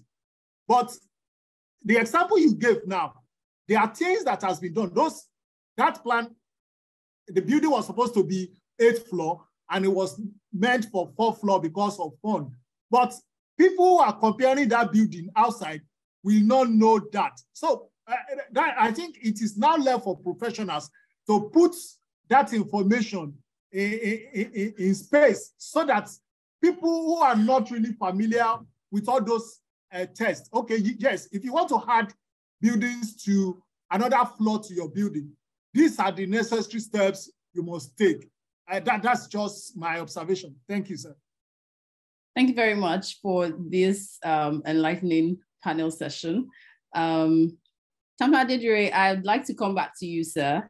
Um, yes, we see that with the with how building collapse happened, um, the hospitals that the that that the those involved in building collapse um, are usually miles away from from from them. Um, should hospital retainership be a, a, monitoring condition for construction sites, particularly as an occupational safety and health condition, before approvals are given to, to these it, developers? It all depends. Honestly, with the government policies that are in place, coupled with all various agencies and the new proposal that the professionals should be involved in monitoring of uh, construction sites. Uh, as earlier mentioned by Professor Abimbola, you see, by the time we are adding series of agencies, individuals, corporations, doing monitoring of building on the process for approval, it makes things to be too cumbersome. Presently, if you want to go on high-rise structure, they require you to have a kind of insurance cover. And uh, by the time we are now adding additional hospital, I don't think hospitals are trained to, uh, doctors are trained to, to, to construct uh, buildings. But to me, personally, I don't see any need for that.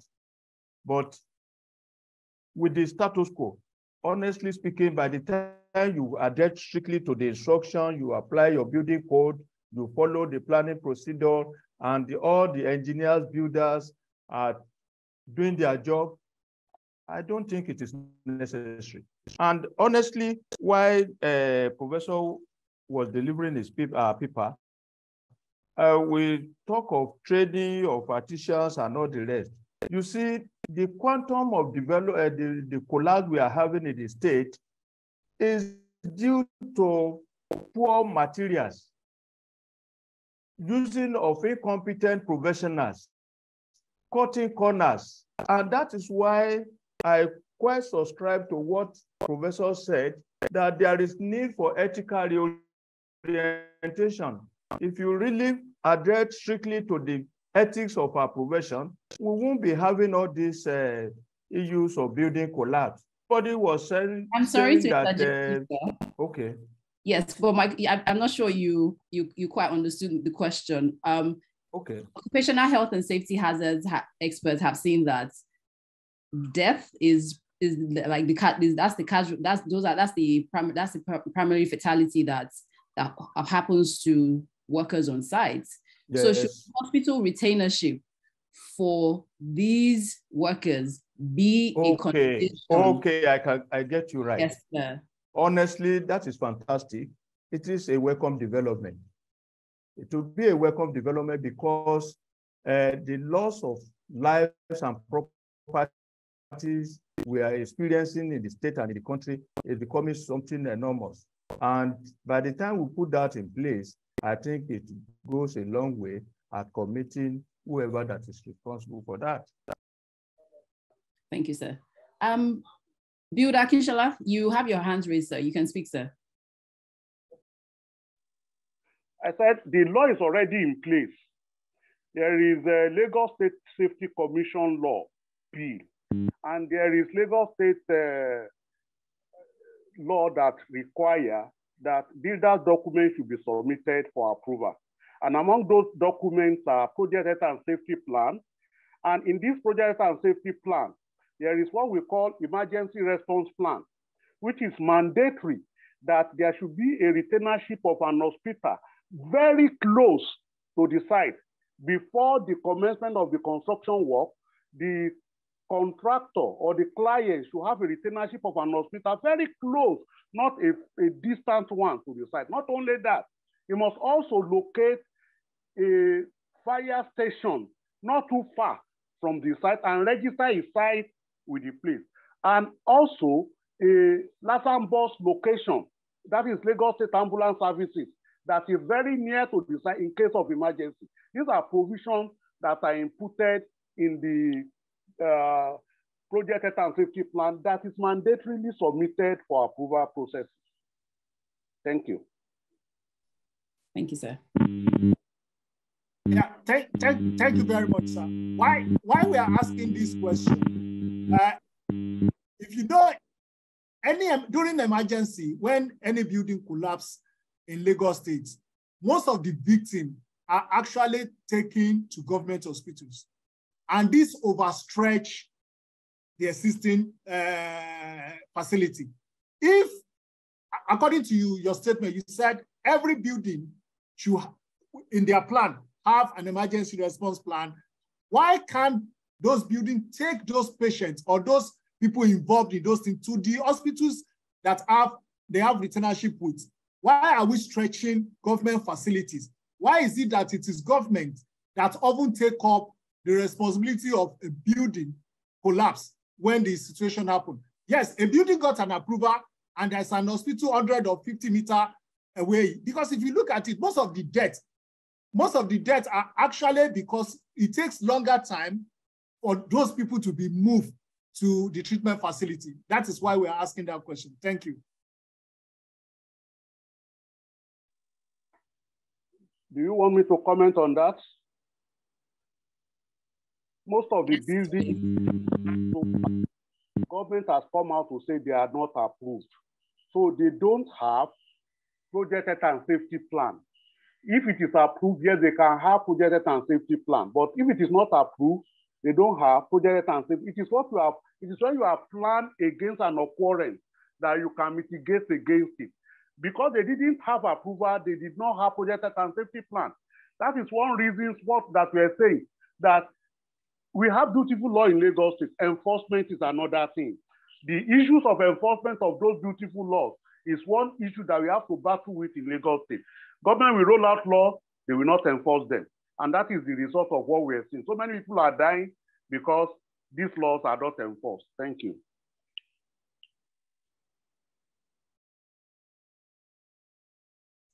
Thank you very much, sir. Um, I just want to read a few of our audience's um, um, reactions to the conversation. Um, someone has said knowledge transfer and training for artisans and engineers, self-regulation aside government regulations could be the way forward. Um, another viewer has said control agencies should make one of their staff available throughout the construction period for every building that is from two-story buildings upwards to avoid compromising standards. Okay. And lastly, the build sector should allow geoscientists take charge of the, okay, we've taken that comment before. So I just want to say thank you so much to every of our panelists and I'd like to get your closing thoughts on this conversation in no particular order. Um, as you all feel comfortable to, you can please take up the mic and give us your closing remarks. Builder, shall I there?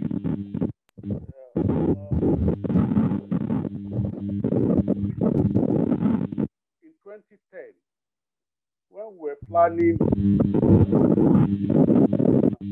development law, most of the new stuff that are being generated today were discussed then. At the Durbar Hotel. The idea to use consultants simultaneously to enforce and ensure that compliance are carried, are enforced, were mooted at that venue, but later government jettisoned it. And today they are going back to it. The multi-layers of uh, consultants that we're talking about is not the problem. The problem is government staff. Most of the laws that we put in place that are in the act and bills, these staffs are manipulating them for selfish gain. And we have to let we have to tell the truth. The fact remains that until the staff are called to order and government put a control system in position to check that these staff are not lying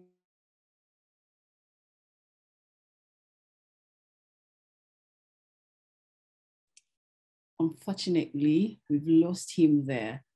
Um, in their pocket at the expense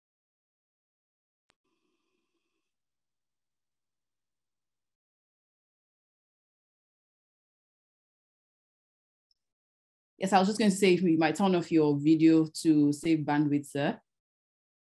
But you're muted at the moment.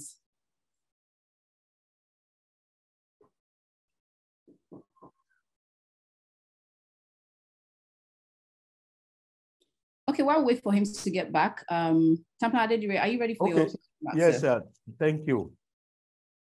Honestly, my take on this issue of building collapse, a lot of reasons have been adduced to the reason why buildings are collapsing in the state. But I want to make to believe that among all those reasons why building collapse, the social factor, the technological factor, environmental factors, the, the father of all of them is the managerial factor. Because if professionals are up to their responsibility, some of these uh, reasons can be, can be reduced there is need for ethical reorientation. And looking at the whole scenario, the builders, in fact, we are all involved. And all the professionals, apart from the, uh, the developers or the client, the professionals that are on site, how many times do they visit site to monitor what they are paid for? If your clients are claiming that this is what you want to do, and you realize that what is telling you to do is wrong, it's against your professional ethics, you better bow out of the system so as to let the developer knows that is at fault. But because we are looking for money rather than our integrity, and that is why we are experiencing building collapse in the state where you're supposed to buy your materials. If you see a standard block, you will know now.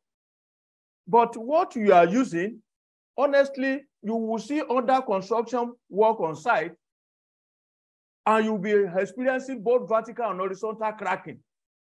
And that is to tell you that there is a fault.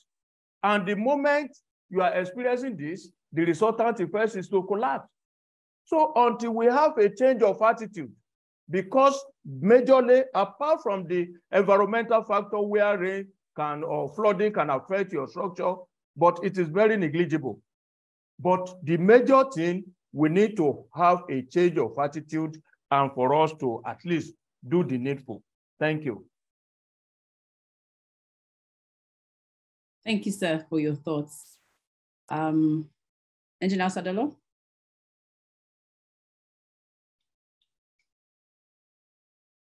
Okay. Um, if he's not ready, I don't know if Professor Abimbola is ready. You're muted, ma'am. Yes, just realize that.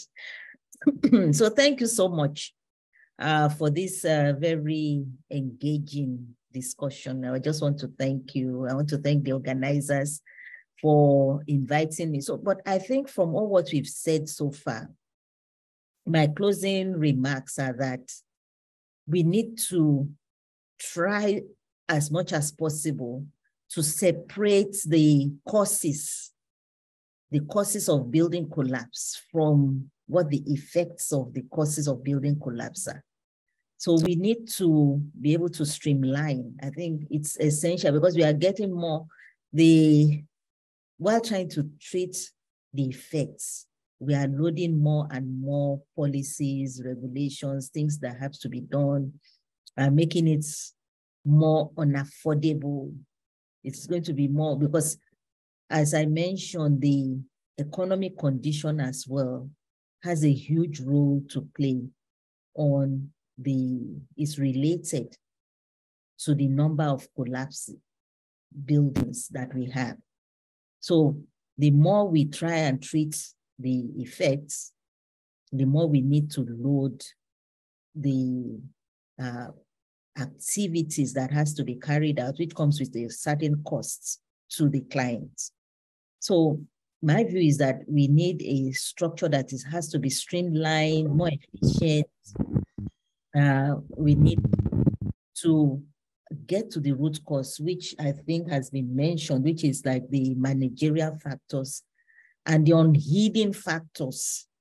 So many unhidden factors, what goes on behind this scene. We need to get to those factors, especially the ethical uh, factors, the ethics of not only the profession, because you have people who, uh, it has been mentioned that there are certain people who take on the role. Once you get, once you appoint an architect, then they believe they have to do everything. If it's the architect you meet first, then they do everything. So there needs to be uh, a kind of ethics of the profession. And I think somebody also mentioned self-regulation. You know, how can we make sure that we encourage people to self-regulate? How can we encourage our developers, our clients, to self-regulate themselves, to be more ethical. Because these are the root causes. These are things we can't get to. We don't need so much regulation. Regulation is costly. We don't need so much regulation and have a fire safety, um, be able to contact um, the uh, accident emergency unit. You know, it's going to layer costs which the clients cannot afford. But the clients themselves, if they were able to self-regulate themselves, if they were ethical, they know they don't have to cut corners, they don't go and buy substandard materials because they can't afford it. They pay for the services of their designers, the engineers, the professional builders, the people who are going to manage the process for them. They pay and all this, and then government doesn't have to add all these layers. So it's a reaction of government. So we have to get to the root cause. That's my own submission. We have to get to the root cause of this problem and, and, and stop it at the root cause so that we don't have to police people to do what they are supposed to do in the first case. They must realize that policing brings about costs. And in talking about policing, I think the government should also, maybe there should be an award.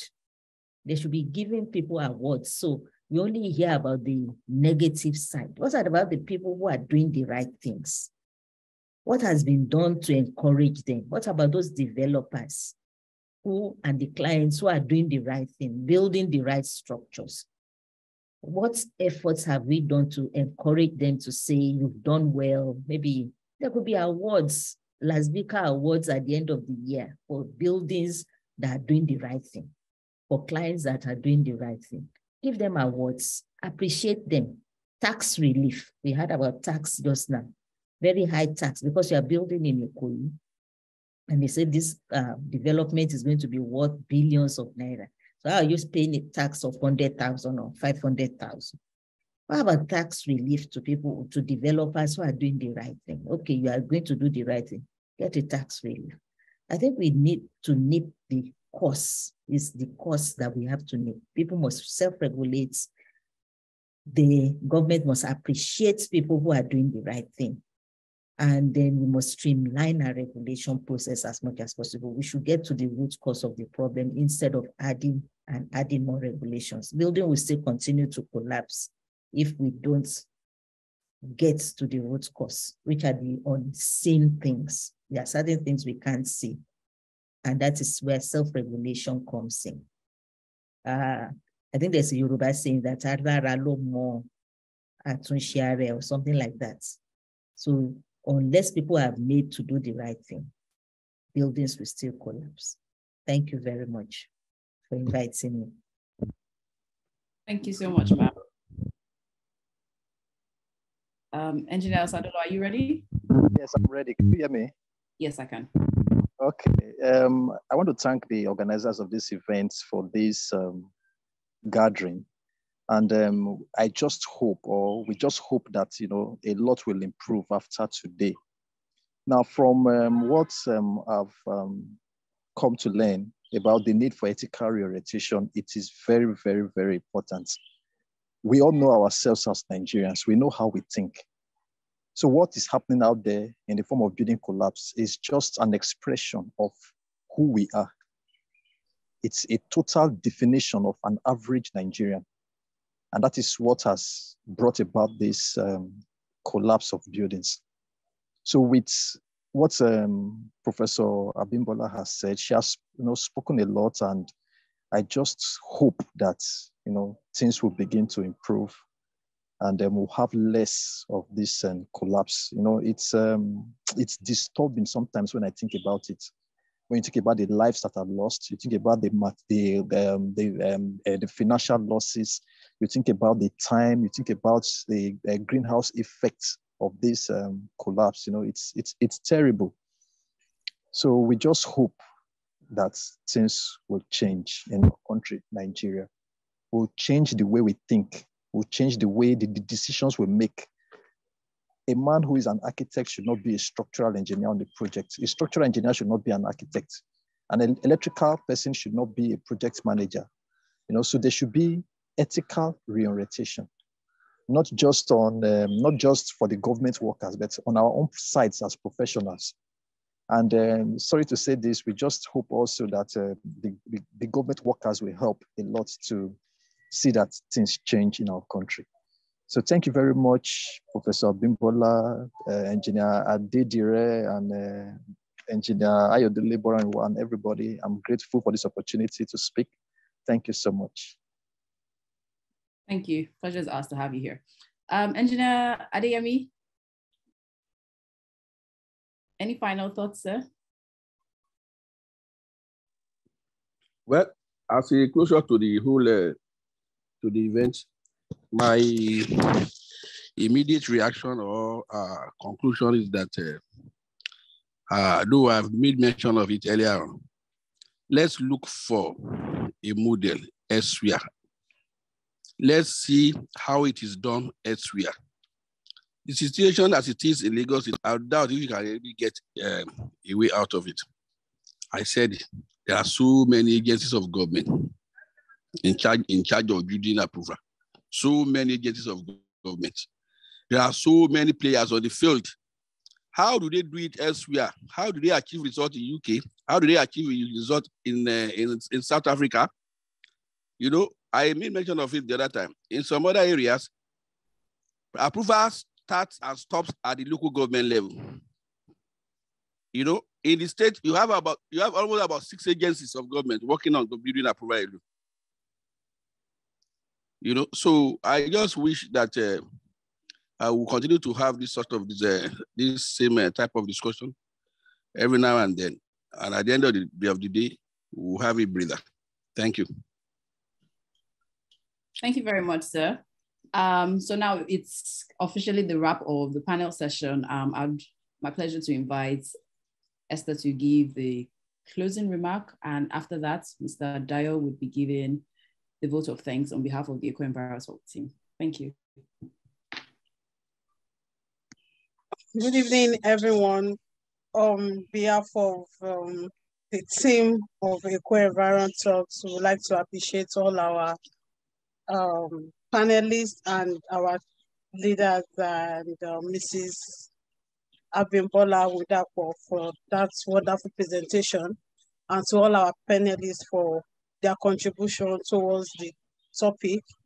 Um, so far, we've been able to also gather some of the informations and suggestions, comments from the audience that joined through the YouTube.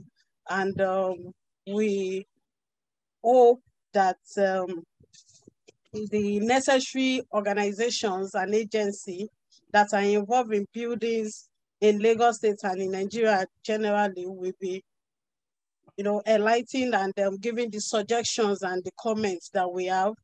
Um, the likes of, I, I know we have the likes of the Ministry of Physical Planning and Urban Development in Lagos State.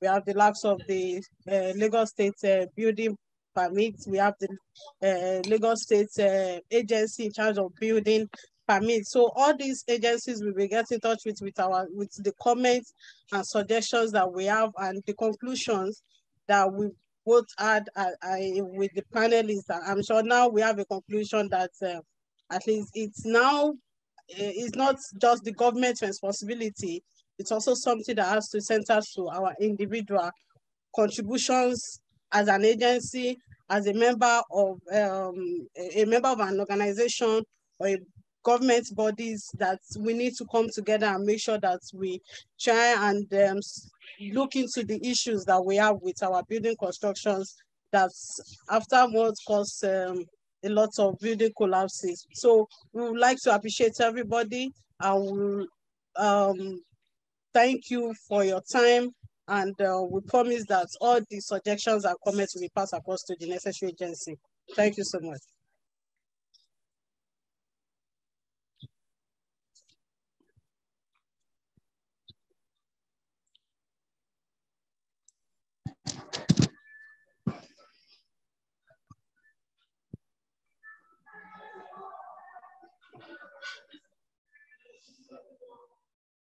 Mr. Dyer, you can go ahead with the Thank you. Thank you. I believe there is a thing or two that we can glean from the Creator's wisdom. The Bible describes two types of builders. The first is described as the foolish builder. Foolish because he built his house on a sandy soil. The rain came, the wind came, and the storm came and hit against the house, and it fell. And great was the fall of it. The second kind of builder is the wise builder.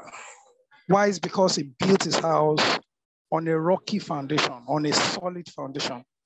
The rain came, the wind came, and the storm came and hit against the house. And it did not fall because it was founded upon the rock. Thank you, our panelists and our lead speaker, for enlightening us about the policies, the guidelines for building enduring structures. We hope that after now, Nigeria and Nigerians can be building enduring structures that will be safe for all. Thank you, the moderators. Thank you, uh, our sponsors. Thank you, our viewers from YouTube. Thank you. Until next time, it's bye for Eco Enviro TV Talk. Thank you. Thank you. Bye. Thank you, Ma.